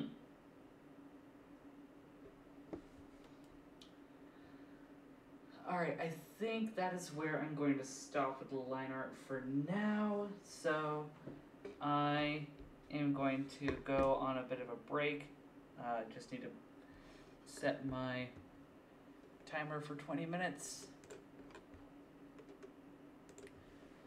Uh, do-do-do.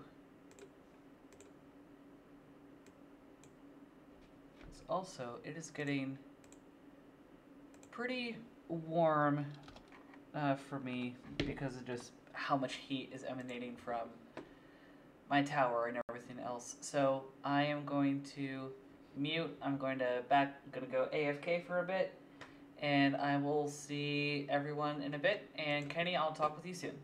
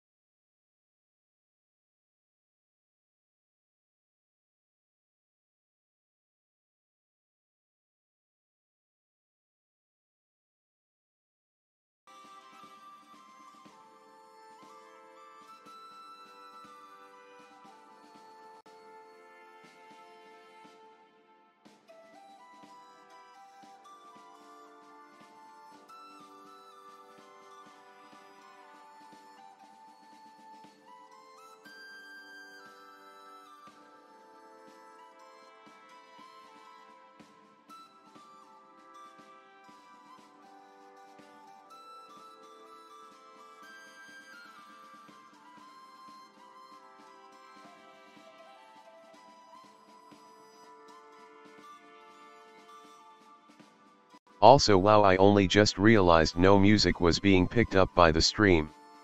Sheesh Louise. I'm so sorry.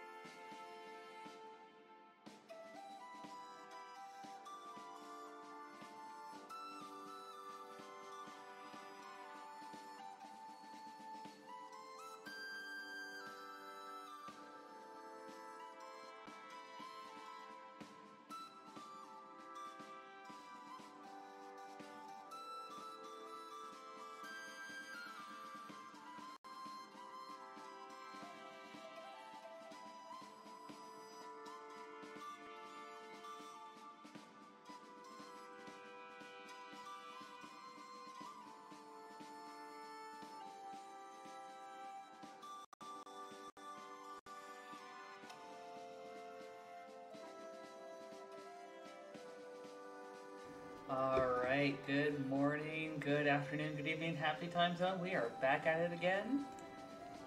And I got a little ahead with uh, working on uh, working on uh, some little extra bits on the lining while I was away, but um, this will connect, thank you.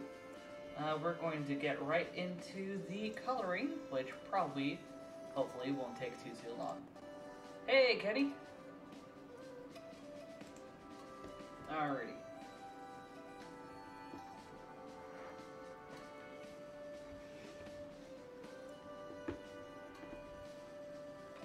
So, what you want to talk about while I'm working on the rest of this?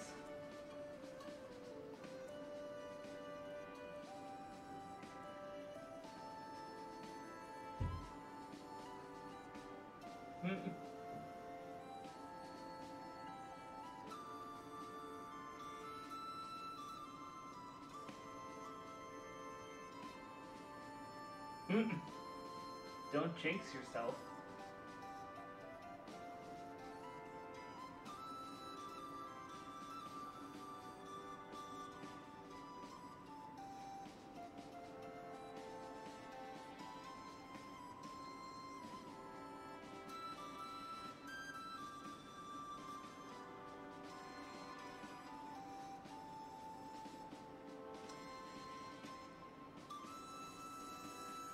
Right. Can only imagine.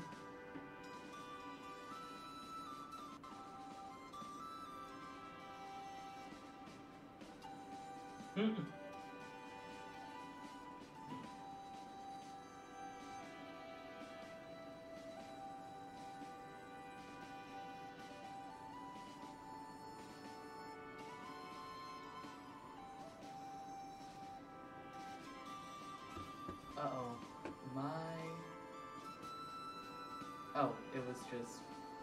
I just.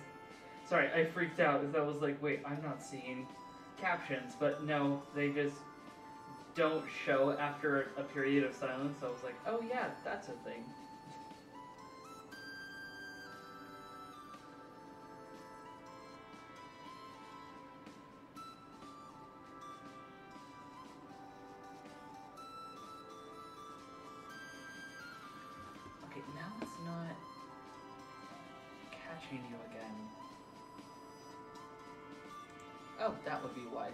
Still had the separate audio for the VC muted, so now it should be able to pick you up.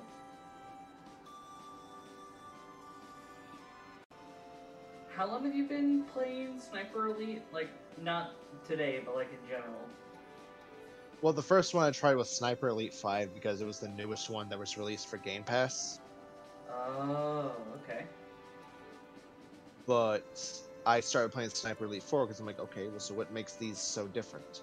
Um, a lot actually. Sniper Elite 5 makes some things like super, super easy, but Sniper Elite 4, you're really in the trenches with this one.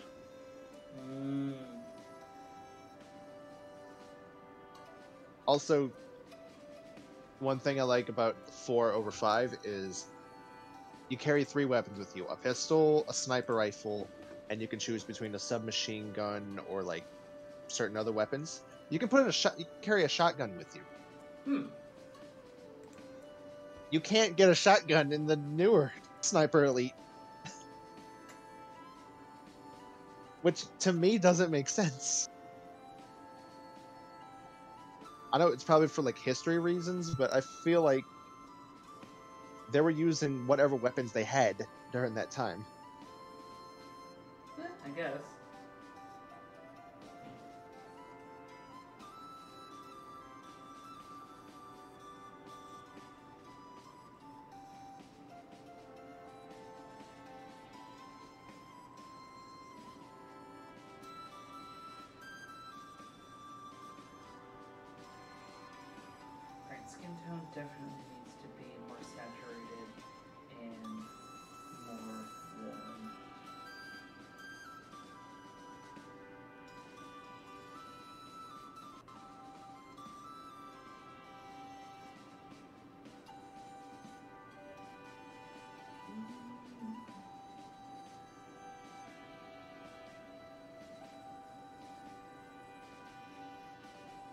Oh, here's a completely random question, but I just remembered a game series. Did you ever play uh, Sly Cooper?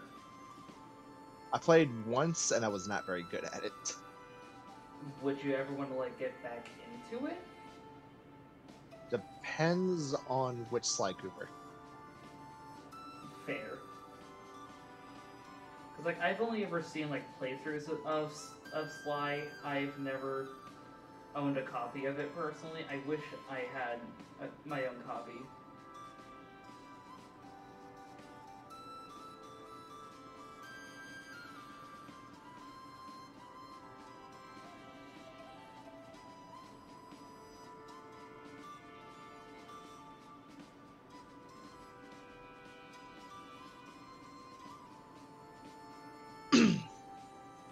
Well, my cover's been blown, but that is okay. Because they can't really get me. And how is that? because I rigged every every uh, possible entry. Oh shit! I forgot about the back way.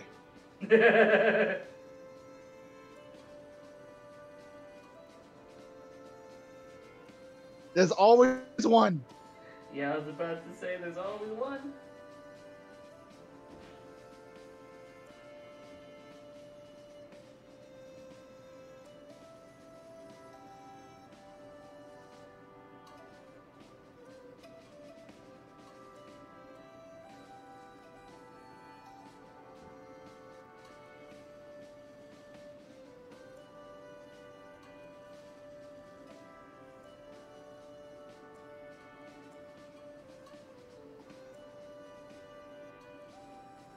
They have a general idea of where I am. They just don't know how to reach me. Well, hey, at least they don't know exactly where you are.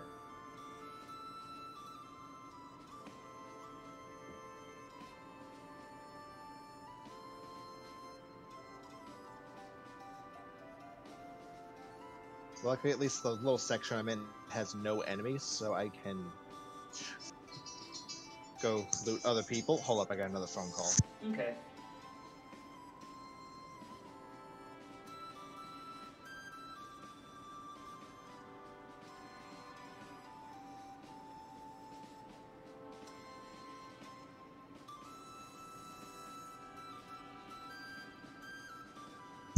That was just my mom telling me good night. okay.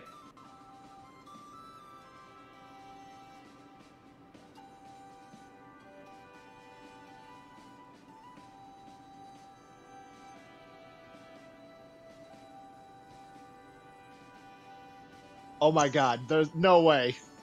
What? He's running straight to my trap. Hmm? Please give me the.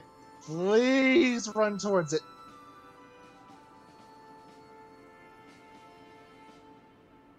He did. He didn't give me an x ray though. Oh.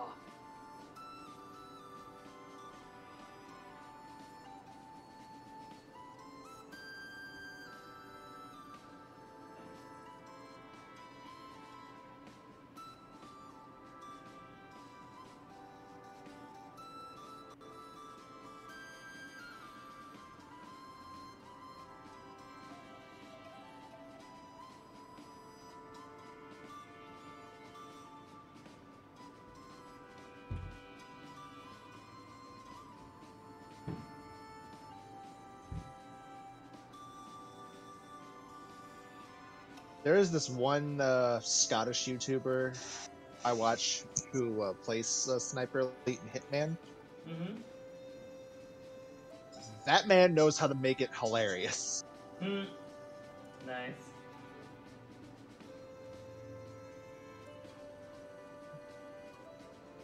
I think one of the funniest things I remember from uh, one of his Sniper Elite 5 videos was when you play this game and like you uh, like can tag enemies, you can see a little thing about them, like their name or like why they joined the uh, the German army in World War II because it's a World War II game. Oh, okay. And what and it's I, I found out it's not randomly generated. Well, dang. So, Yeah, that's what makes it even funnier. The uh, one of the funniest ones I remember was uh, this one soldier apparently. Oh shit! Did you Well, get? it started- Did you get found? start- Did you get caught? No, I found something even more terrifying. They have a tank, Oh, be careful. and it's it's moving too. Be careful. The thing is, because if you aim at vehicles with a sniper rifle in this game, you'll see certain parts glow red, which means they're weak points. That's like ways into the engine or their tires. Mmm. The tank has a very tiny, a very tiny uh, window. That if you show, oh shit, there was a lot of them. Hmm.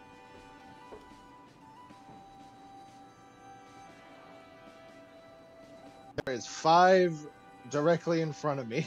Ooh. I'm gonna see if I can take them out with one thing of TNT.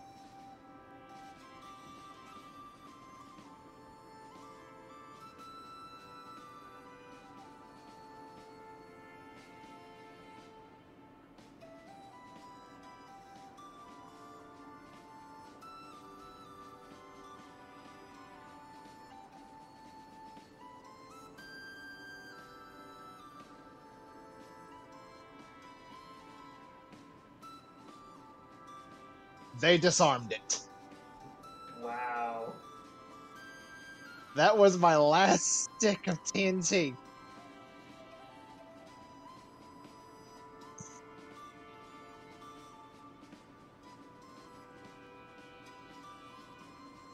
Anyway, before I before I get mad,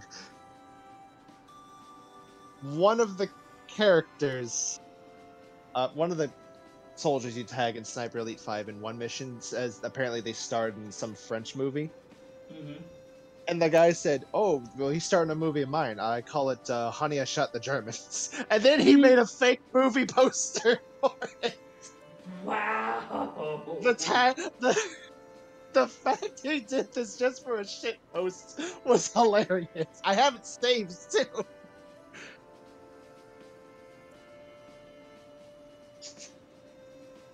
Curious about it, but I'm also a little concerned. Uh, it said, "Honey, I Shot the Germans," a Patty Strongjaw production because the he nicknamed the character Patty Strongjaw. And the tagline to the movie was, "If there's a scope, there's a way."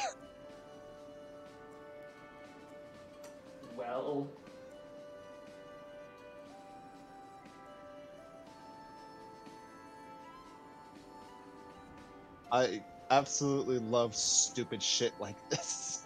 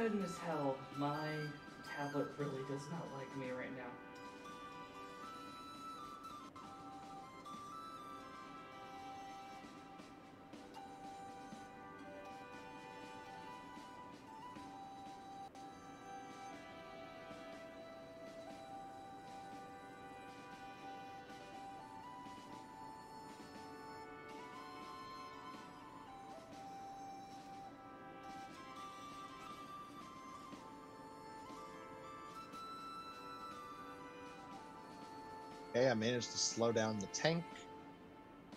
Nice. Somehow they don't. Hold on.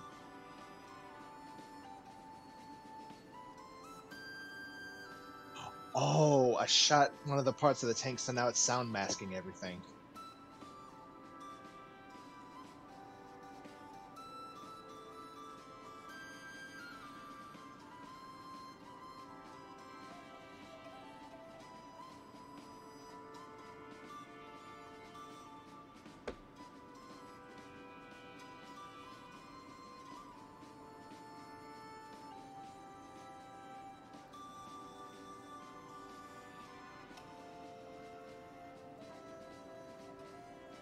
When you big brain something that, uh, but have little brain.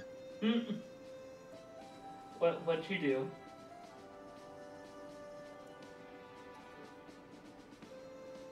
Uh, did you say that because of something that you just did in game? Yeah. What you do? Made sure to check my surroundings, which I know isn't like much, but it's the smartest things. You, it's the smartest thing you have to do in a game like this. right. No, understandable.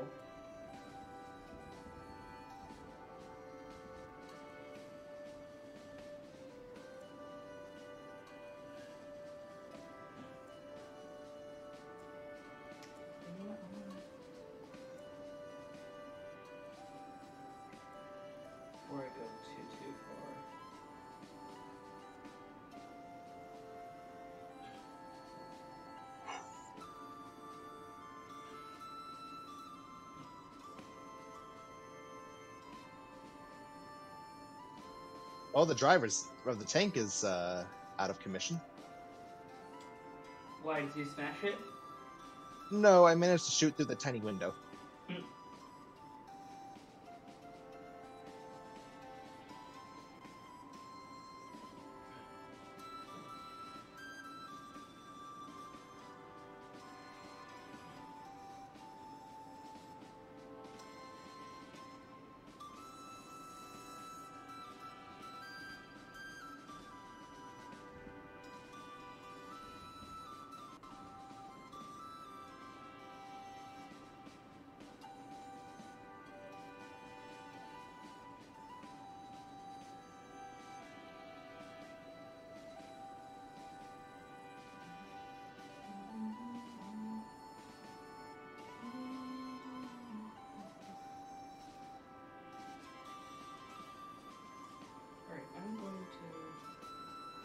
See if that will help at all.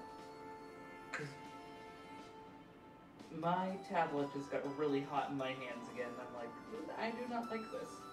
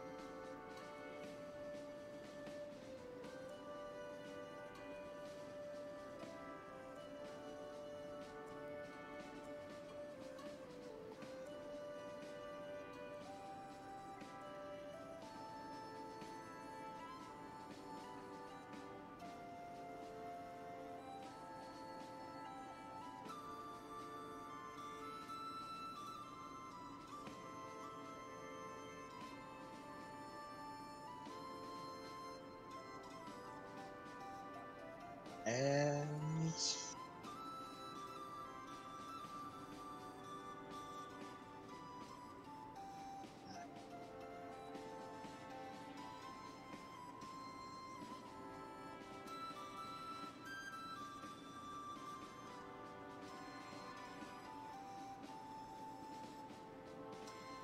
it does not look good.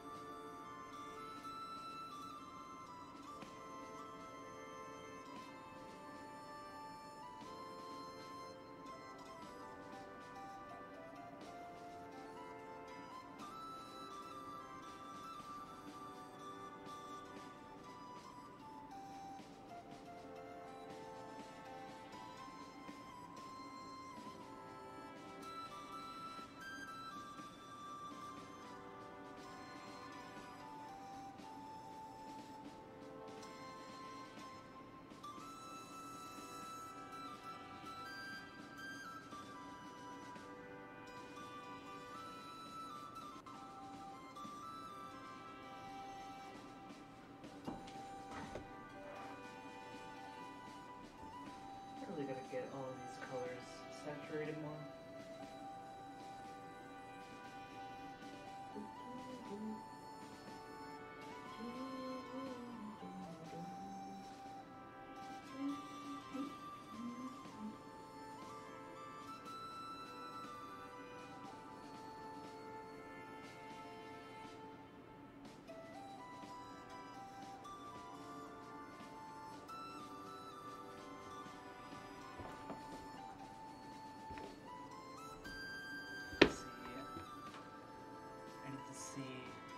Stripes are for like a raccoon dog.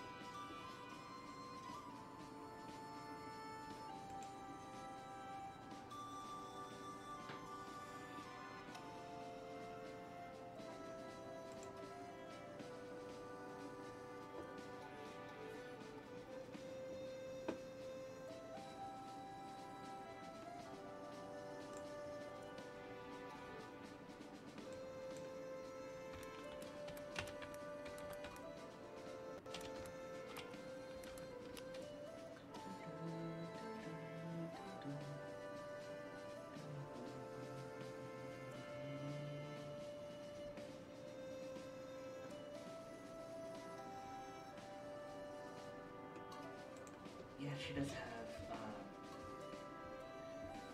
little gradients and things like the top of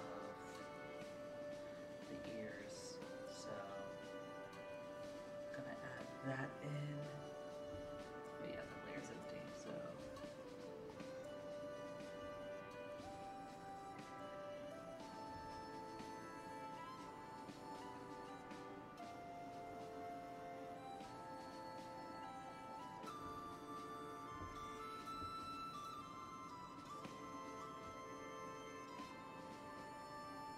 That's one tank down.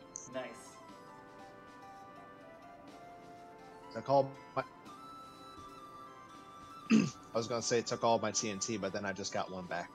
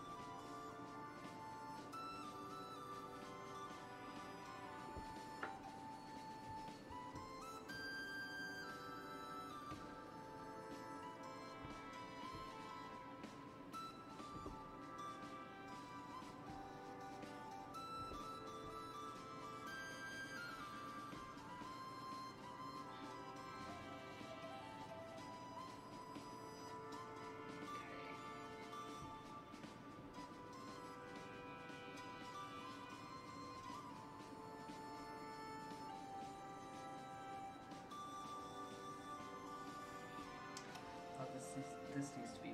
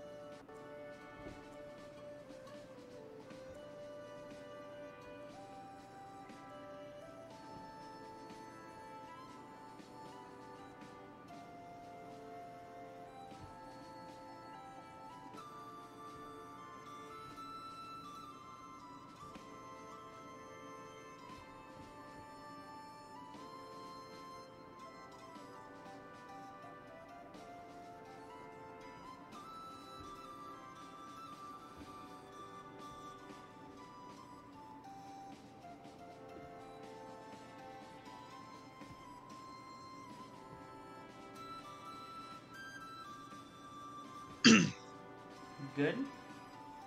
Yeah, I just needed to clear my throat. Oh, okay.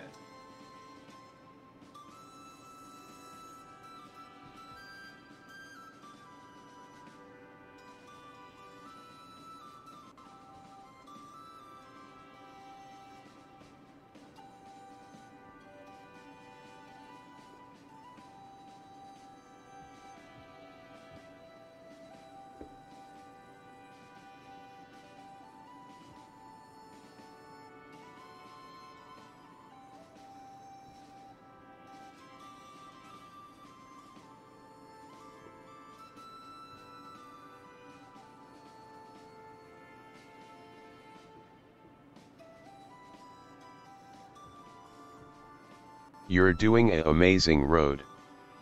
Sorry I am quiet. Working on content too. You're good, Lexi. No, we're we're both working on our stuff. It's all good.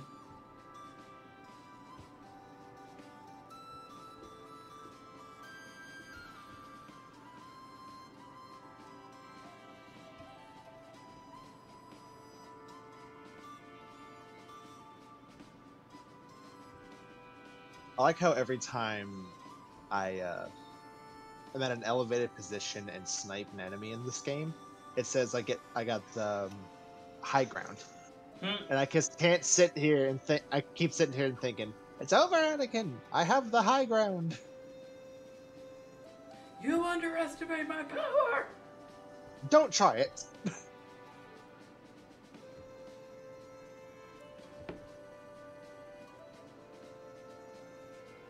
Oh, that would be hilarious for a, a point redeem at some point. I remember just because of how um, some nerds are. In one of the Star Wars Battlefront games, you can play as like the heroes and villains, like Jedi and stuff. Wasn't that uh Battlefront 2? Yeah, I mean, even in the original ones, you could do that, but Battlefront 2, there was one I remember that was hilarious. I saw a video of it where one person was playing Vader and one person was playing Obi Wan, and Obi Wan got to like a pillar above Vader, and he just walked away. I'm like, oh my god, Anakin learned his lesson.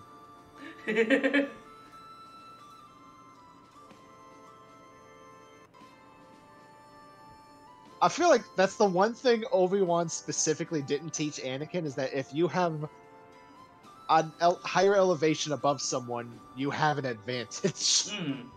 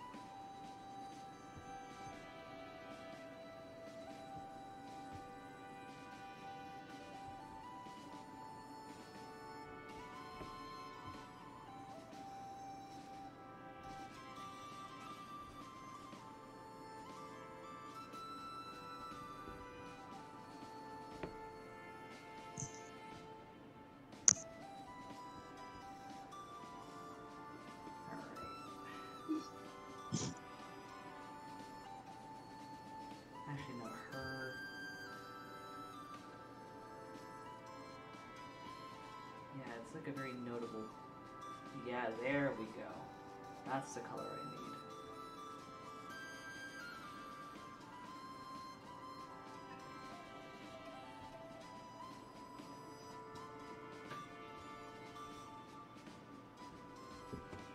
Yeah, actually, I'm gonna pull up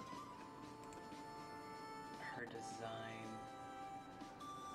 Because I had her colors somewhere.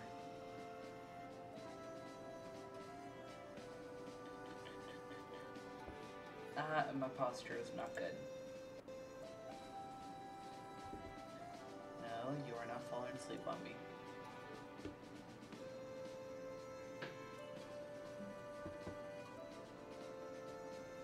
Oh, shoot, I got some of the colors wrong.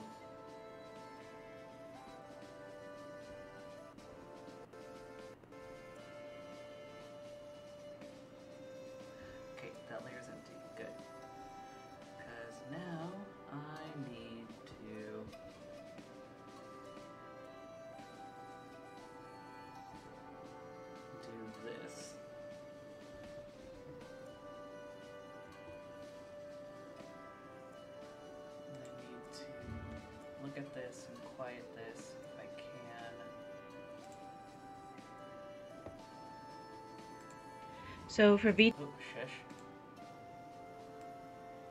Um, okay.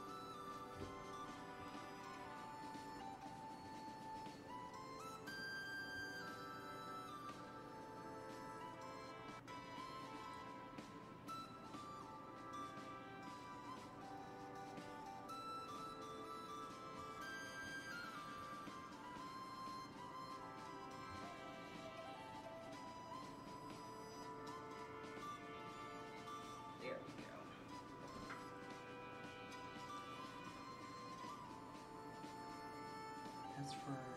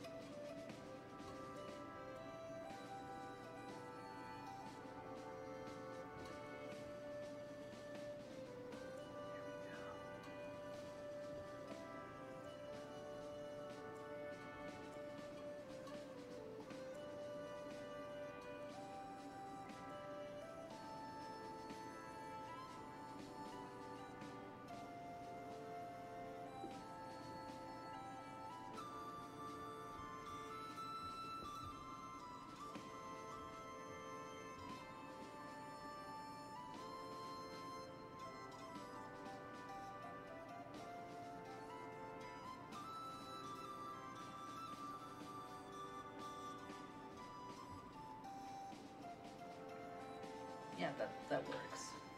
Okay, now. Actually, like that better. Okay. Now her inner cloak has to be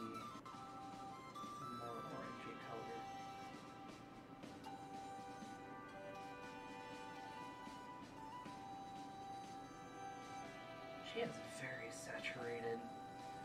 and She has a very saturated color palette. Sheesh Louise.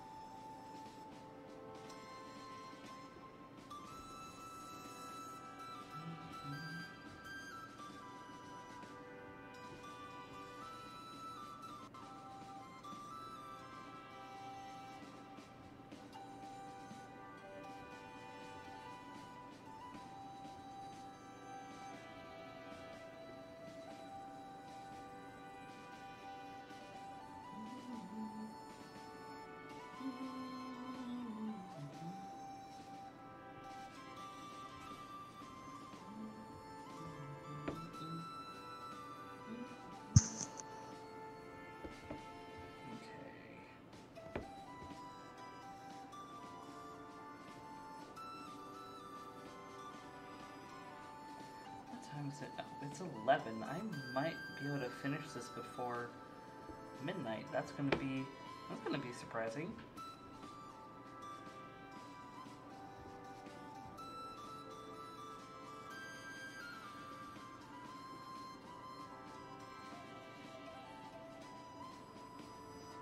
Oh, I need to make the brooch. I'll do that as like a finishing touch.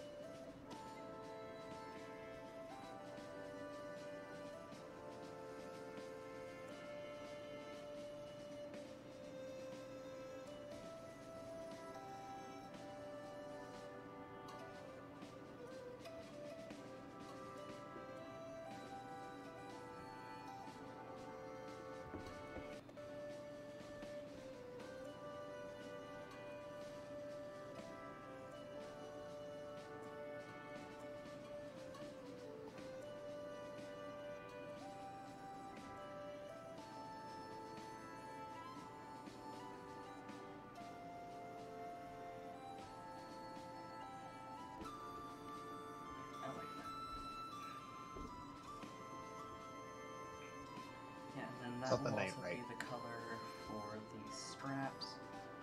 What's up? So one cool feature of the Sniper Elite games is there's enemy snipers.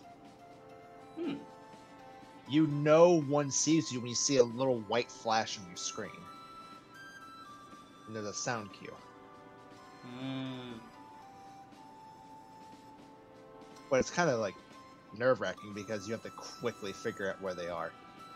Because if they see you and you don't see them, well, they have the advantage. Right.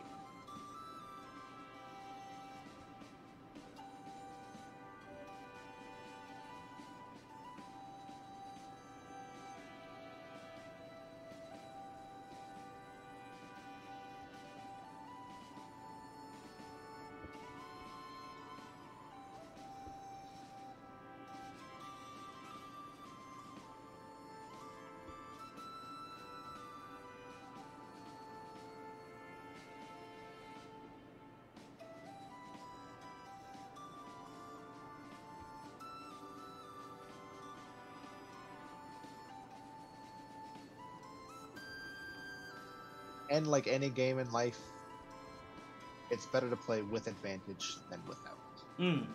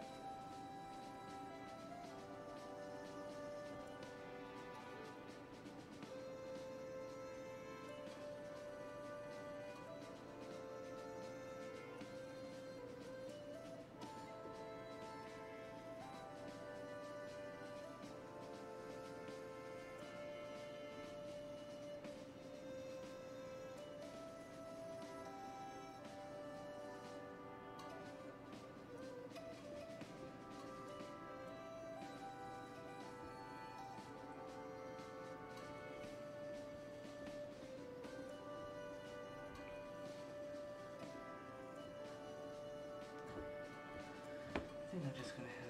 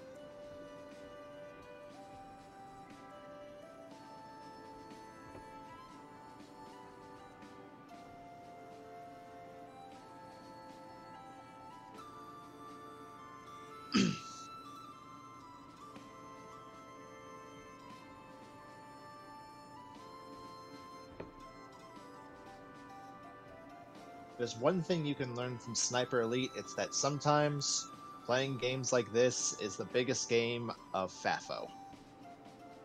Fafo? Fuck around and find out. Oh.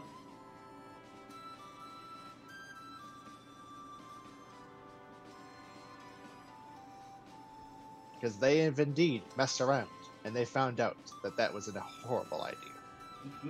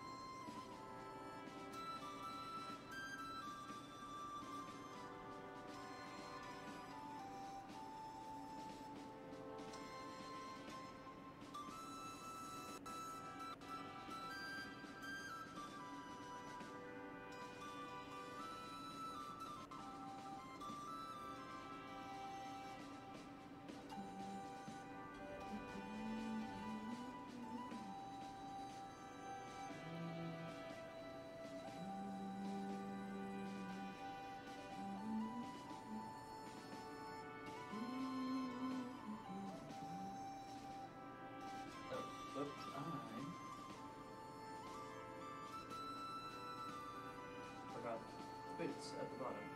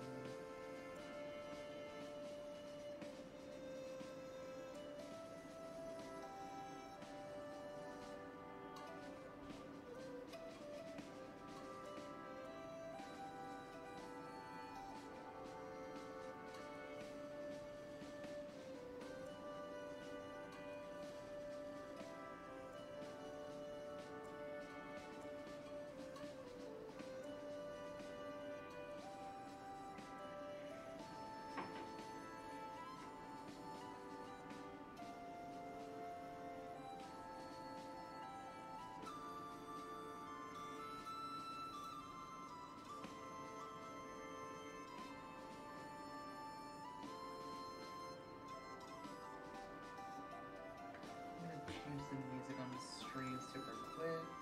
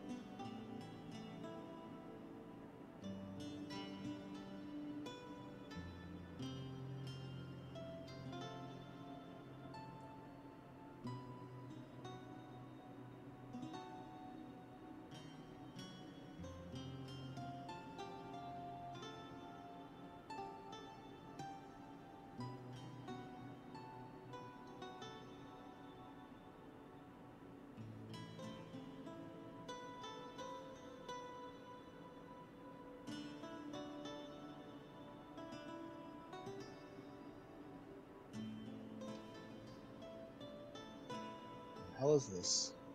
Hmm? What's up? What'd you find?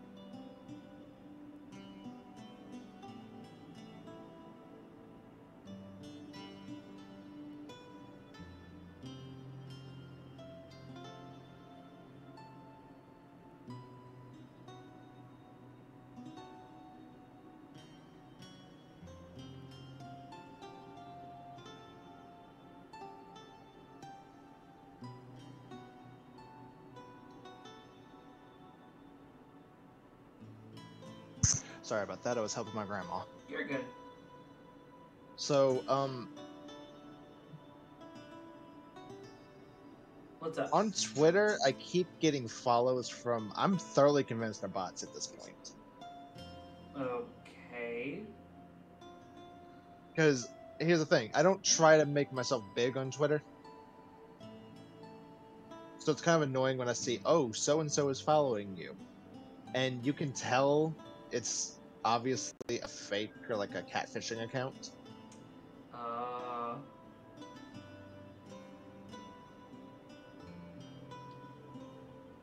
So it's kind of like really annoying. Like generally, I do not follow. Oh damn!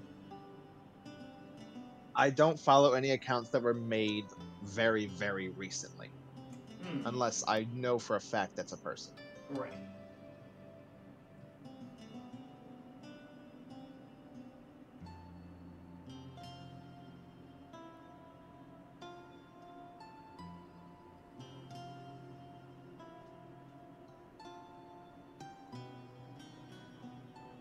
I will say though, Twitter has finally done something smart. They made it to where only where you can control who sees your tweets.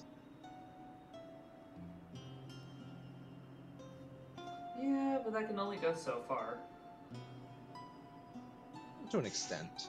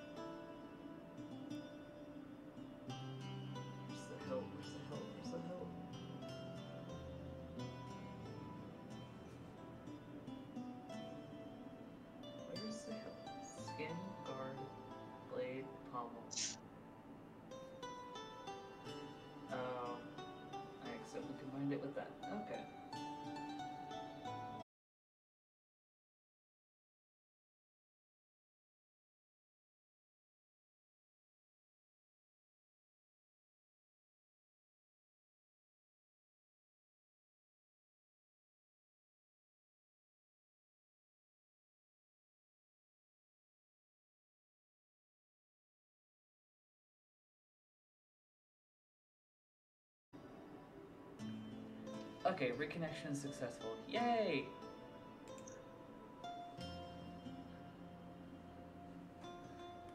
I take it OBS crashing is really, really, really bad. Yeah, because it meant that um, my stream just went completely blank on Twitch.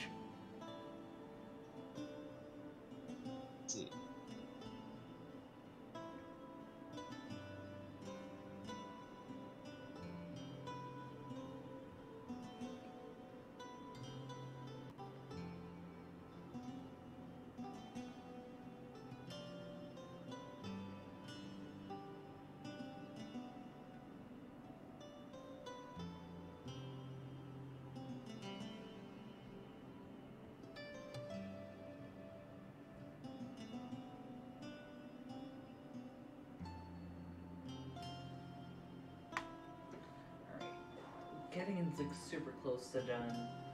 Uh, just need to work on little details in the blade, and then I think I'm actually like done done.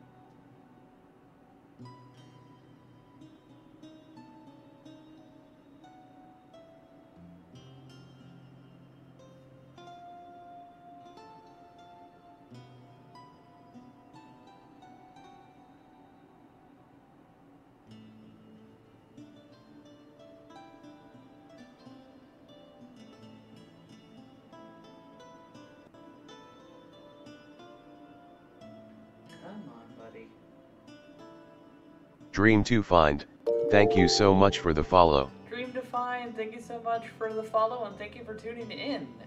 Um, for a little bit of intro, actually, for those that are just hopping in.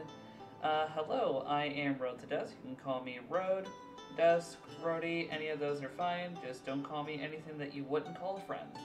Uh, I am a nearly budding variety tuber. I do art and I also do games, uh, combination of new and retro. The reason why I say retro is because tomorrow, just for a bit of an example, uh, I am planning to actually play uh, some like OG uh, Animal Crossing from the GameCube because my fiance and I recently got a GameCube and we're really hoping to get like the thousand year door for it soon. But until then, we have Super Mario Sunshine and OG Animal Crossing, which I, I'm really excited to uh, experiment with because I never actually messed with uh, GameCube. My very first console was the PS2, which same era, but yeah, not uh, not the um, not no, not just not the GameCube, which is totally fine. I'm not dissing on Nintendo or anything. When I was younger, I just had a hodgepodge of a bunch of different consoles that I would play, and so yeah, I do a lot of gaming and art, as you see here as well. Um, if this is uh, your fancy, I would love for you to continue to watch, and I would love anyone's uh, company tomorrow, especially during not only the um, when I'm going to be doing uh, Animal Crossing, but also on Wednesday. This coming Wednesday, I'm going to be doing a commission with a friend of mine who's wanting to get their foot in the door into hopefully doing some storytelling with a uh, with a nice little model, um, and we're going to be talking together, working, collabing together as I work on um, a an official piece for her character design. I would love for you guys to tune in then because I think it would be a great time to introduce you all to um, another newbie uh, VTuber who's wanting to get her foot in the door. And I feel like being able to support each other would be really, really great. So if you guys could tune in then, that would be awesome. Uh, I will say also, next week on Saturday, I will start playing Splatoon 3. I have my Fridays uh, set up for my for my drawing, and Saturdays are my gaming. Though I might uh, I might be regularly incorporating Wednesdays as a as a whatever day. Um, but yeah, next Saturday will be Splatoon 2, absolutely, because that comes out like the Friday of that week, which I'm pretty excited for. Um, if any of this uh, suits your fancy, please feel free to stick around. I would love, uh, I would love your company.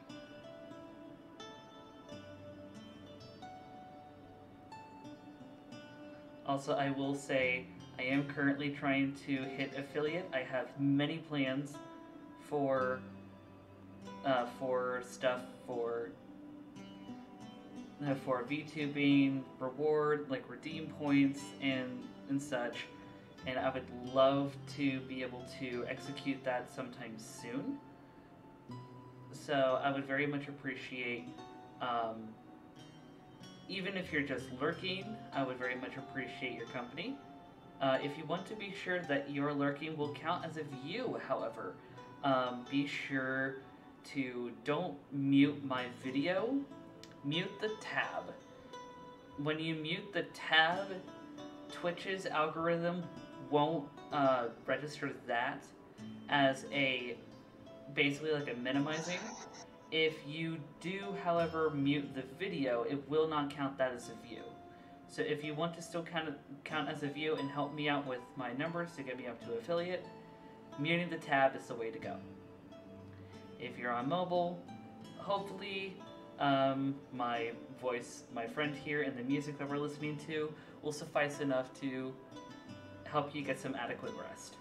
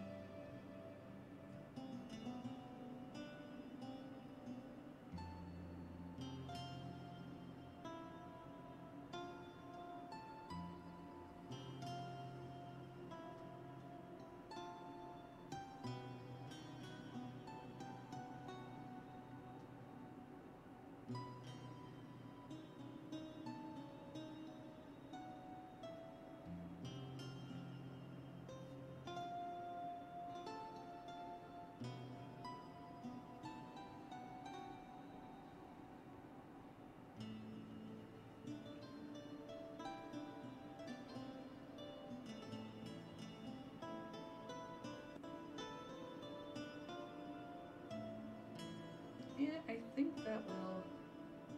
Well, I want to add some color to.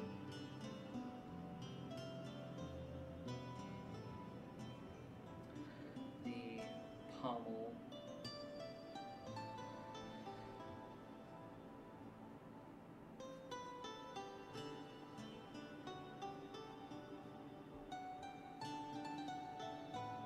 And we'll do the hilt as well.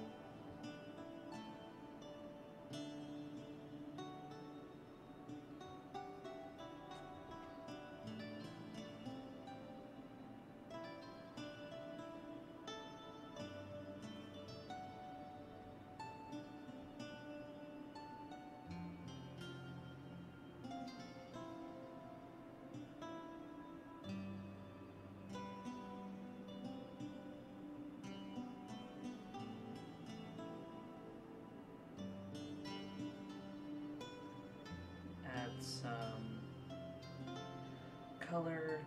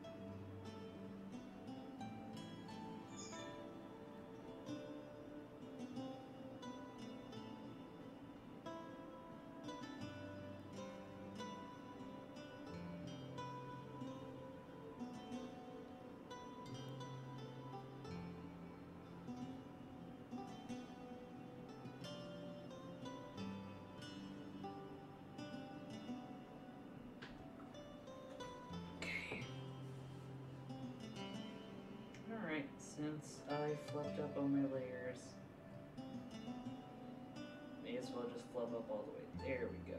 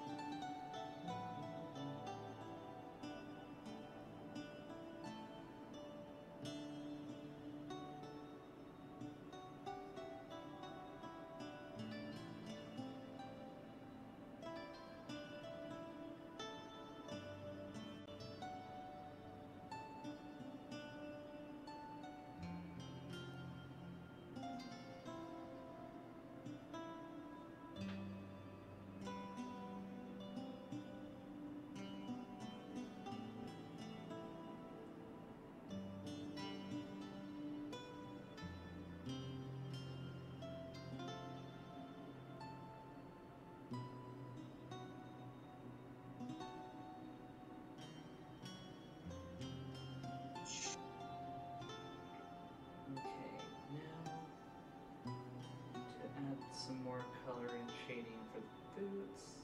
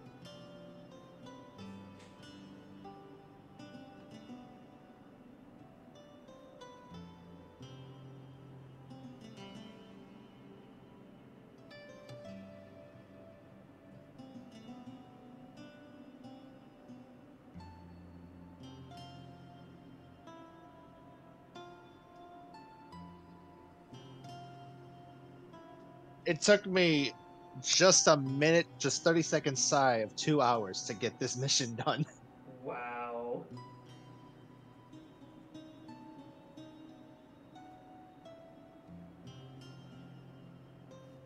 But like I said, I'm very methodical when it comes to stuff like this. Hmm. On the bright side, I leveled up like three times.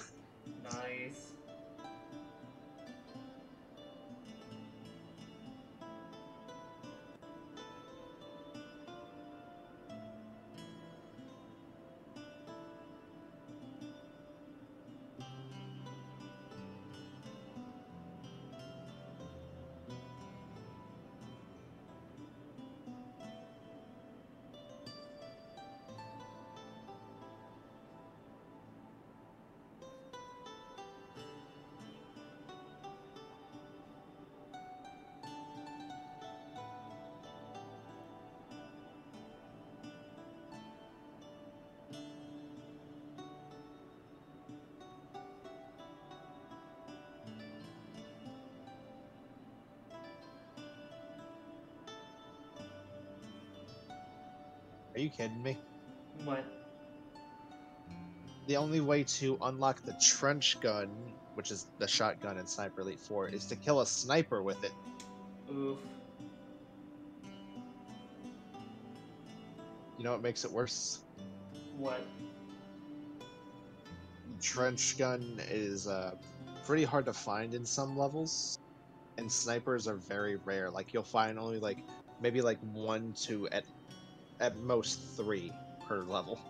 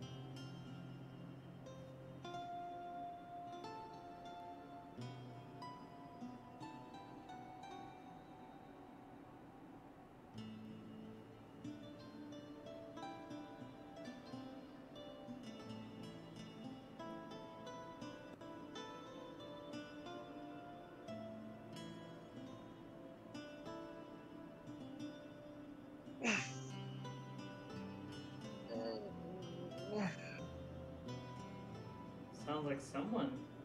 Sounds like someone's having a good stretch. Yeah.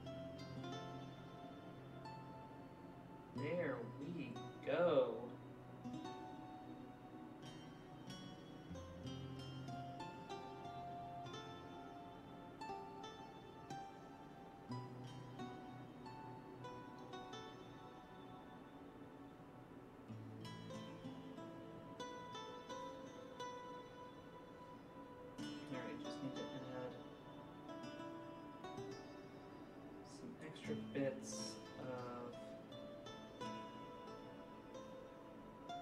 light to the sword.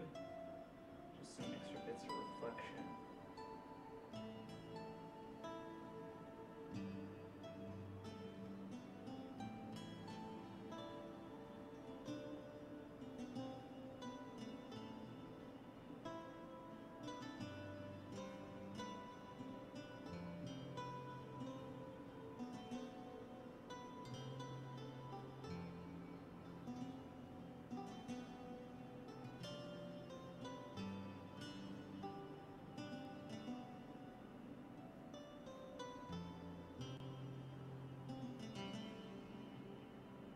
You are at 56 followers.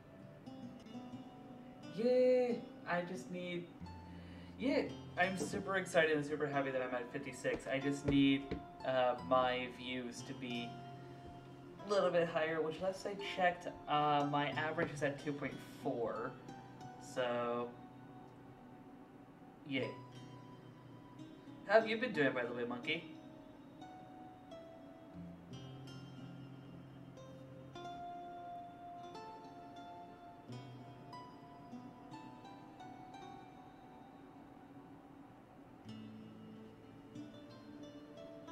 I'm good thank you.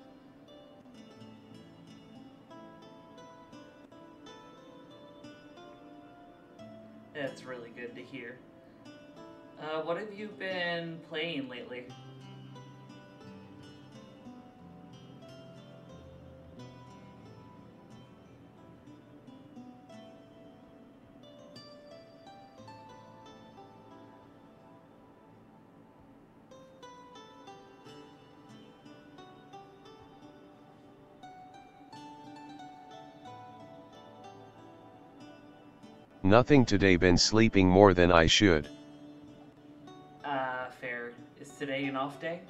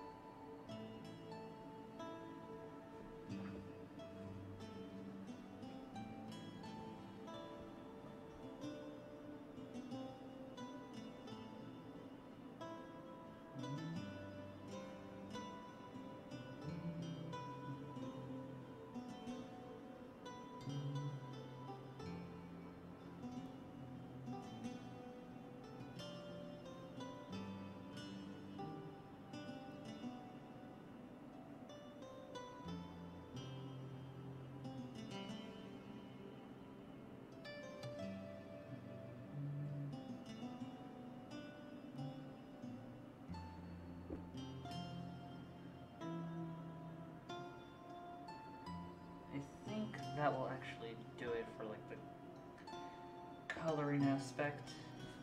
No. Yeah, because I like where this is.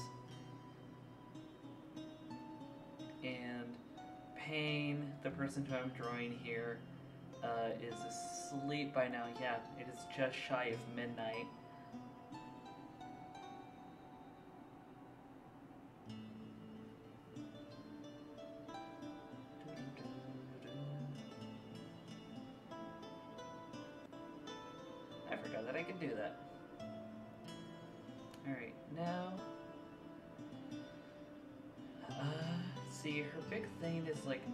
Stuff, so. Let's fudge around with a. Uh, materials.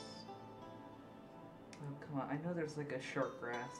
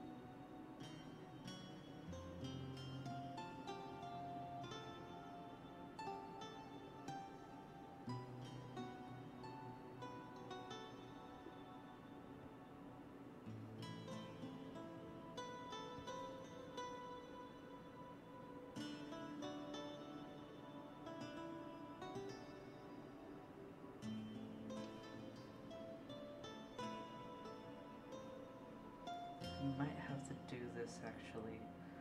Full opacity.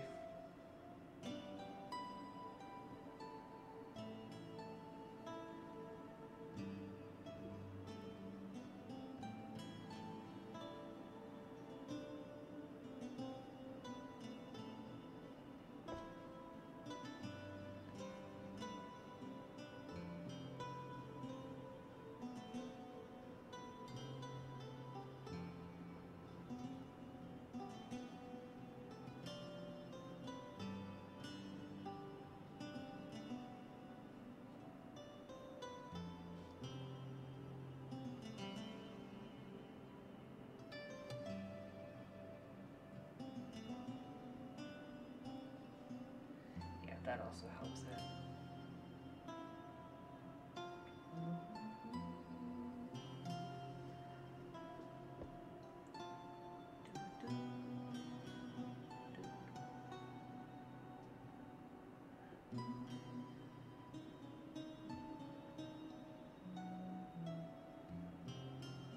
Oh, I need to have a something already set for like a possible tree. Let's do that.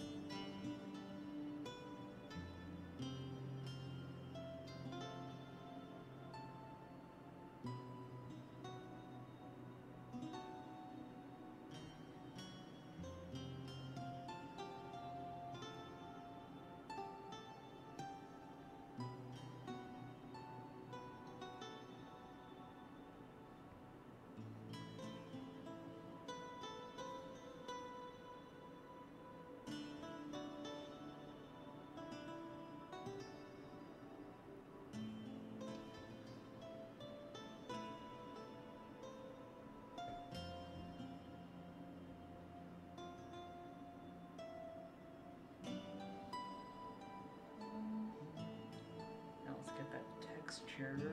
Oh,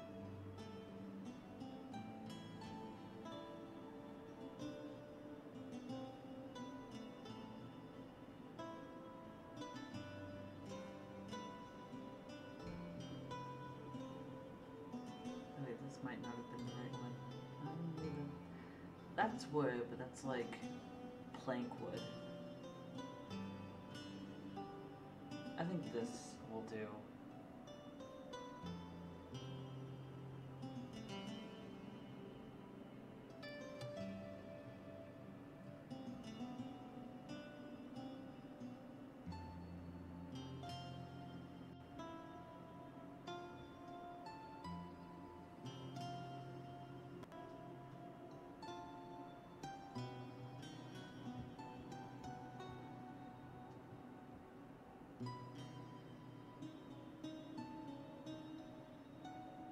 Well, Yeah, lesson has been learned. and what would that be? Avoiding uh, certain things on Twitter is self care.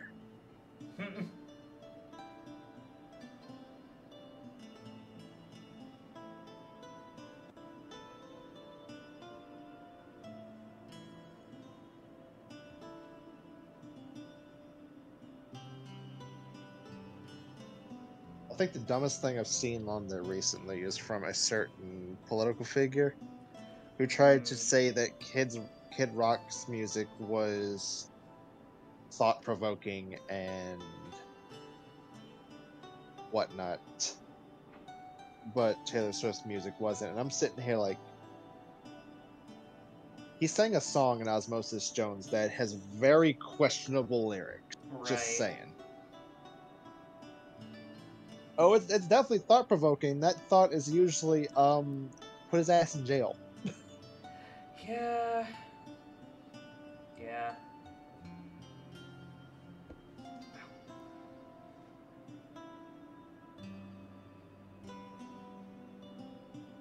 Well, even Rob Zombie has better thought provoking music, and you should hear some of the titles to some of his songs. Ay, ay, ay.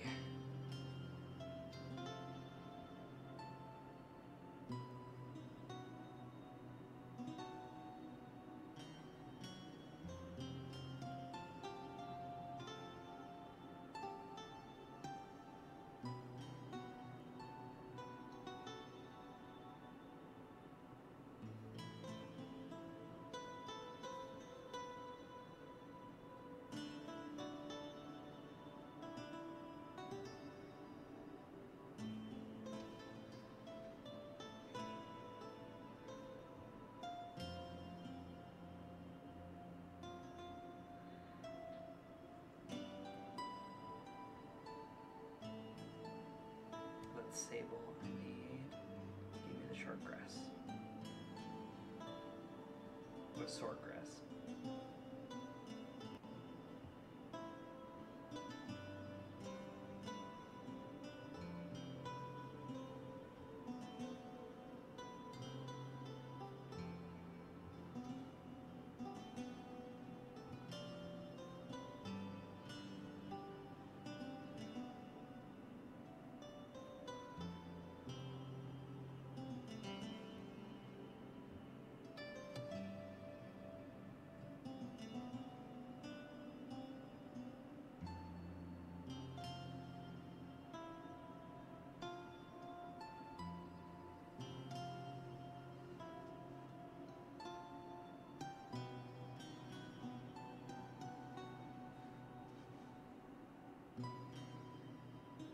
I can't get over the fact that they're making a new Tales from the Borderlands.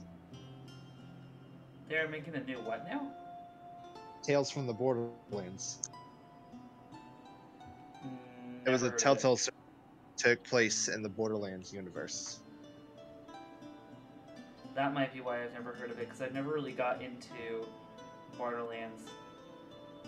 I mean, I saw a trailer for the new Tales from the Borderlands, and I could not stop laughing that the main bad guys was a corporation called Tediore, who makes guns that instead of reloading them, you throw them and they destruct into your hand again Hmm. with a full magazine. Huh. But like you throw them, they explode like grenades, or they turn into homing rockets, or this is my personal favorite. You throw them and they they turn into guns with legs. Okay then. And they have AI too. So I just could not get over the fact in the trailer there was a little squad of Tediore soldiers who was led by a talking machine gun.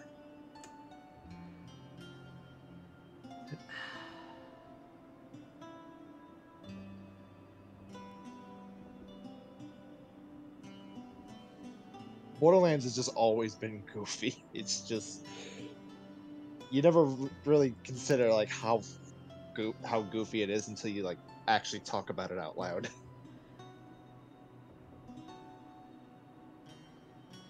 I mean, more power to you. But I'm also someone who will specifically play a game just because it's different or because it's weird. Hmm.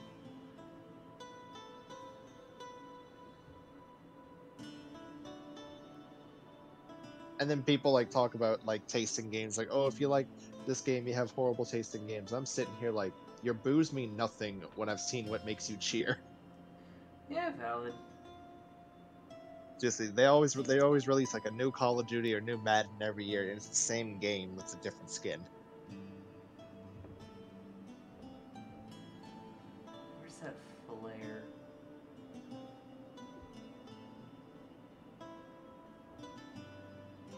I remember they put King Kong and Godzilla fighting each other in one of the new online Call of Duty games, and they didn't do anything but just stand there. If you just shot at them enough, they would actually do something.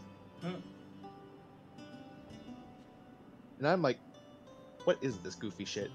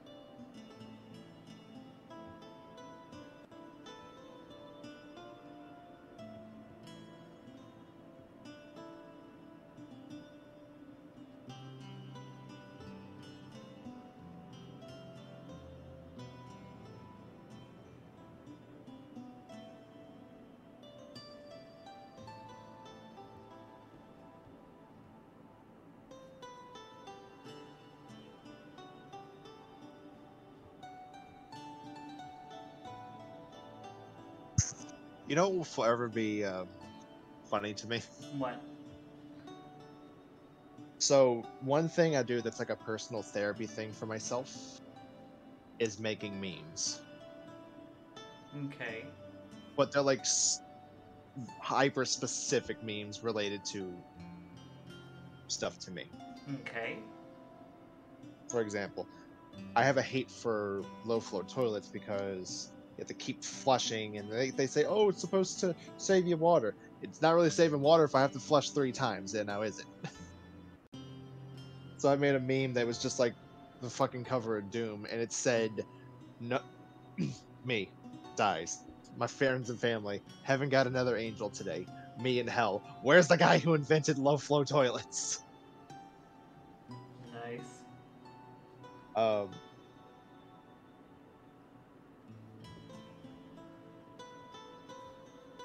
I made another meme that uh, has I don't know some angry Reddit face, and then one that's like a super hyperactive gremlin underneath it.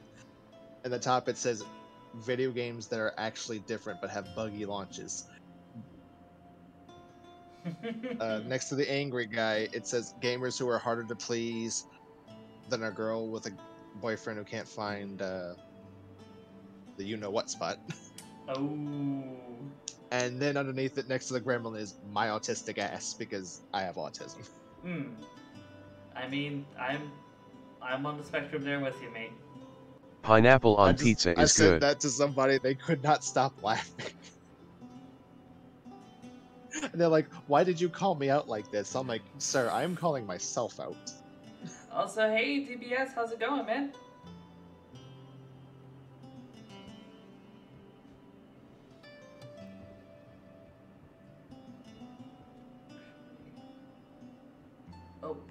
Any who disagree can fight on me on it.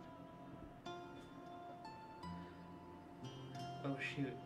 Oh, my tablet is almost is at like 38%. I should put it on the charger soon.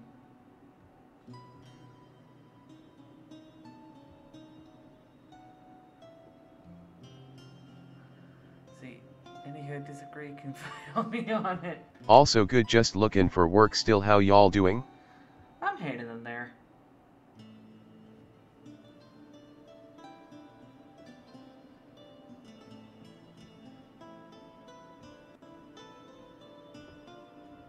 Just for me, uh, namely working on this, um, really excited for tomorrow because Top Hat has a day off, and I'm hoping to see if I can convince him. That's to good hop on house stream work. with me for uh, gaming tomorrow, since I'm thinking of playing some uh, OG Animal Crossing. Work is going okay. Um, still pretty stressed out with uh, work. Not Aye, that'd be a lot of cool. Hours. And yeah.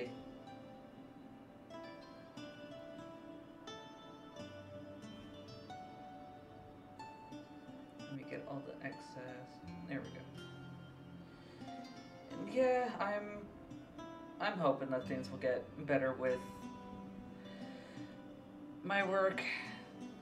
Uh, I did also apply for a uh, a place like that's only like ten minutes walking distance from where I currently live, and thankfully I wouldn't have to um,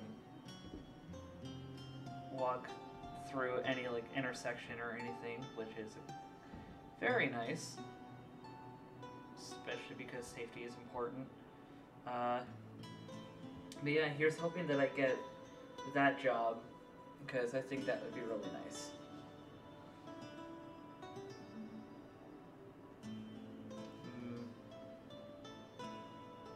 Mm. Okay, I went a lot harder on the background than I thought I was going to. Uh, Kenny, what do you think of this? I'm sorry. What, what am I thinking of? Uh, look at the stream and look at what I have for uh, the background and tell me what you think. Are those uh, two trees in the background? Yeah. It looks pretty good. Kind of hard to tell if they're trees though, but that's probably because I'm the kinda dude who walk and make traffic stop for him not the other way around. Yeah. Oh, and that that's fair. I'm kind of going off of what um, texture stuff is available with um, what um, ah, words. Why can I not word? What um, this program has automatically set uh, in its uh, system. It's very it's hard to see given like the flare, but there is some texture there for the tree. Do you think I need to add more texture? to to the tree. Yeah. Okay.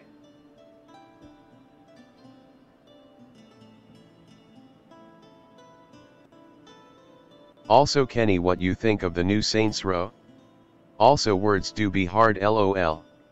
Oh, DBS is asking you, Kenny, what you think of the new Saints Row. Kenny?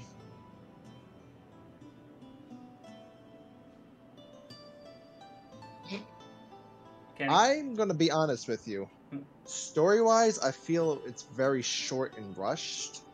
Like you get a lot of build up at first, but then it goes on a steady decline towards the end.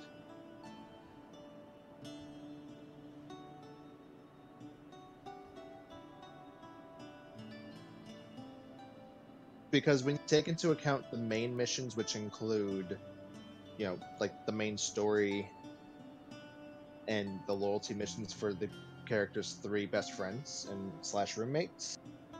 There's only eleven missions. Good reboot or could have been better also no spoiler. Uh, DBS just asked, good reboot or could have been better? Also, no spoilers. Oh, I'm not gonna I'm not gonna tell you any story spoilers. I'll say this much: it does have the Saints Row feel to it. It's not gonna have any like obscenely crazy things like in Saints Row Three, where you can drive on a hover. Been doing good bout keep myself uh, spoiler fly out free. the first suit and then beat someone with a giant, let's say phallic. Purple weapon. oh, I've heard about that. And yeah, no, that's understandable trying to keep uh, as But, far away from spoilers as possible. but it is it, it's fun. It, gameplay wise it's fun. It's just story wise it could be better. Hmm. like i didn't even realize it until after i beat it. Like what was the point of certain things in the story if they had no impact on the end? Like they had me thinking one specific thing was essential to the story and then all it is is just a thing that you go steal for a couple missions.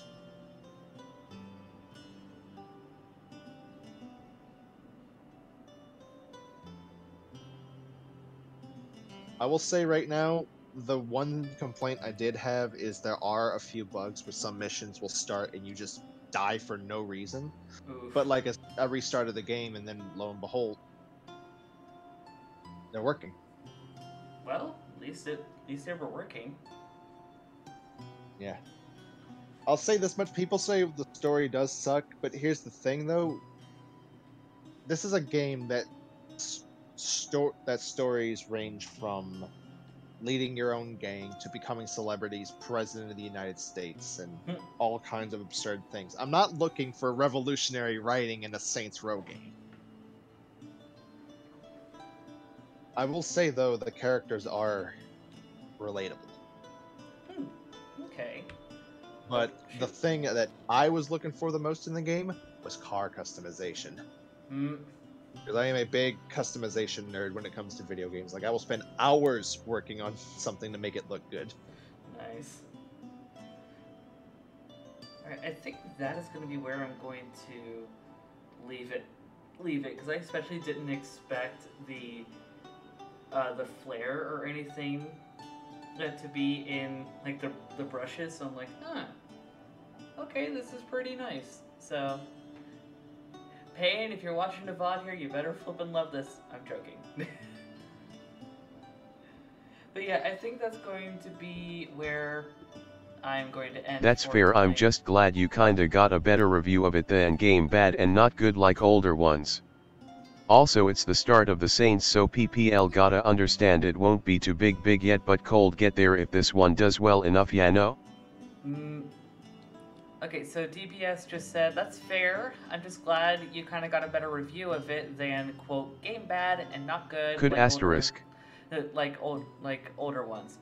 Also, it's the start of the Saints, so people gotta understand it won't be a big thing yet, but could get there if this one does well enough, you know?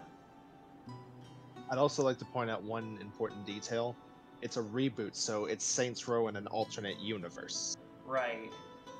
So technically it is canon to the original one, but not really. But I'm not going into multiverse theory. Hmm. But it's fun. It's when it comes to games, get whatever you want, play whatever you want. Screw the reviews. Because people say, "Oh, this game is bad because this, this, and this," but they'll praise another game that has the exact same qualities. Hmm. Like they'll like people act like Fallout New Vegas is the greatest game of all time, and yeah, it's fun as hell. But when it came out, it was super buggy to the point it crashed every five minutes on PC. Well. But then they'll condemn Cyberpunk 2077 for its glitches. I'm sitting here like no multiverse like theory Bethesda on fans stream we'd be here for days if that was the case lol. DBS just said no multiverse, no multiverse theory on stream, or we'd be here for days if that were the case.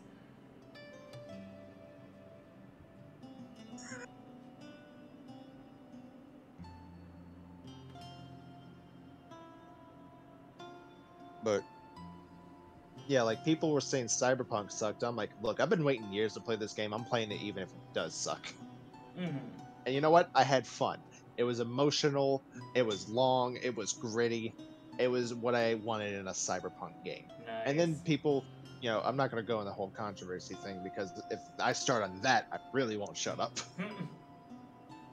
I'll just say cyberpunk controversy is proof of why Twitter controversy is bullshit. Because you'll have people mad about one thing, but then say something much worse. Mm, I'm not even lying.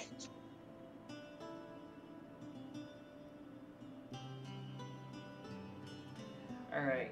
I might try it again since it has massive updates now that make it better plus free like- DLC hopefully.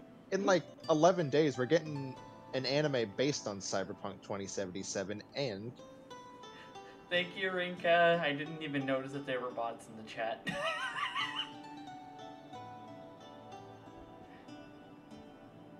Alright, but I think, um, I mean, do we want to keep the stream going and just chatting for now? Because I think the picture's done. I mean, it's up to you. Mm. Cause like yeah, I. Mm. There is. Oh. Oh thought I was the only one in chat lol. No, I think Rinka just I asterisk. because she's been uh, watching like Lance and a few other folks as well.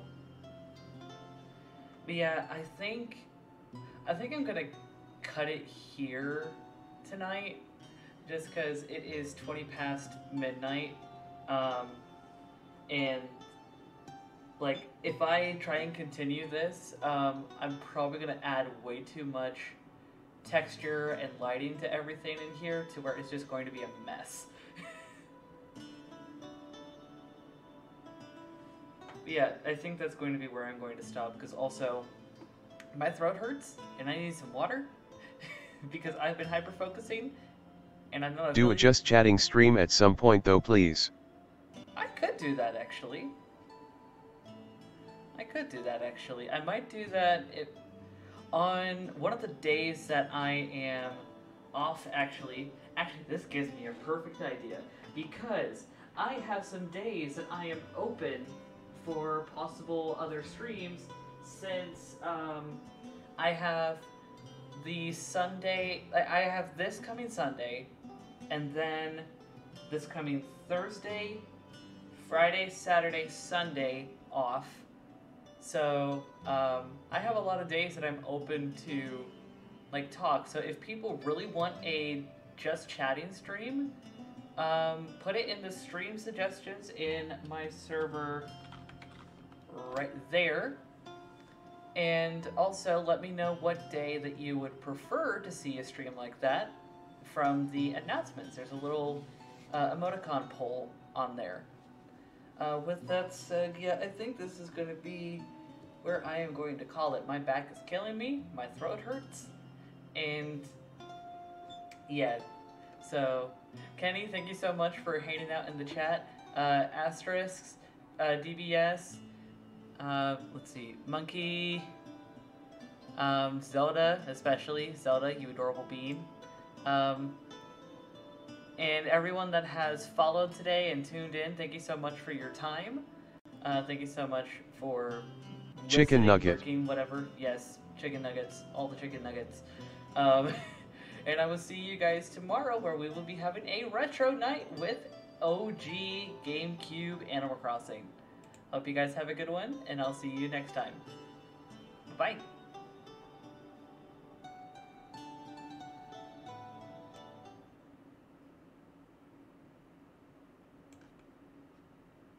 Actually, before we go, we should probably set up who we are going to raid. Uh, let's see who we got available. Uh, you know what? We're gonna go for our most beloved, and I'm gonna turn the music back up. We're gonna go for our most beloved um, half demon culinary student, Venus Dawn MTK. So let's see. Oh, is this someone that's in the server? Uh, not in mine, but uh, a friend of Flexi's. Okay. Yeah. So Yeah, she's not in my server yet. I keep tiptoeing, I- like beating around the bush and trying to ask her, like, "Hey, you want to be in my server?" But uh, Venus is currently doing a karaoke stream, um, and I'm really curious about uh, how that's Oh going Lord, to go. if if we were if we were read that stream, do we have to participate in karaoke? Because I have a terrible singing voice. No, you don't have to. Like, you're more than fine to just lurk.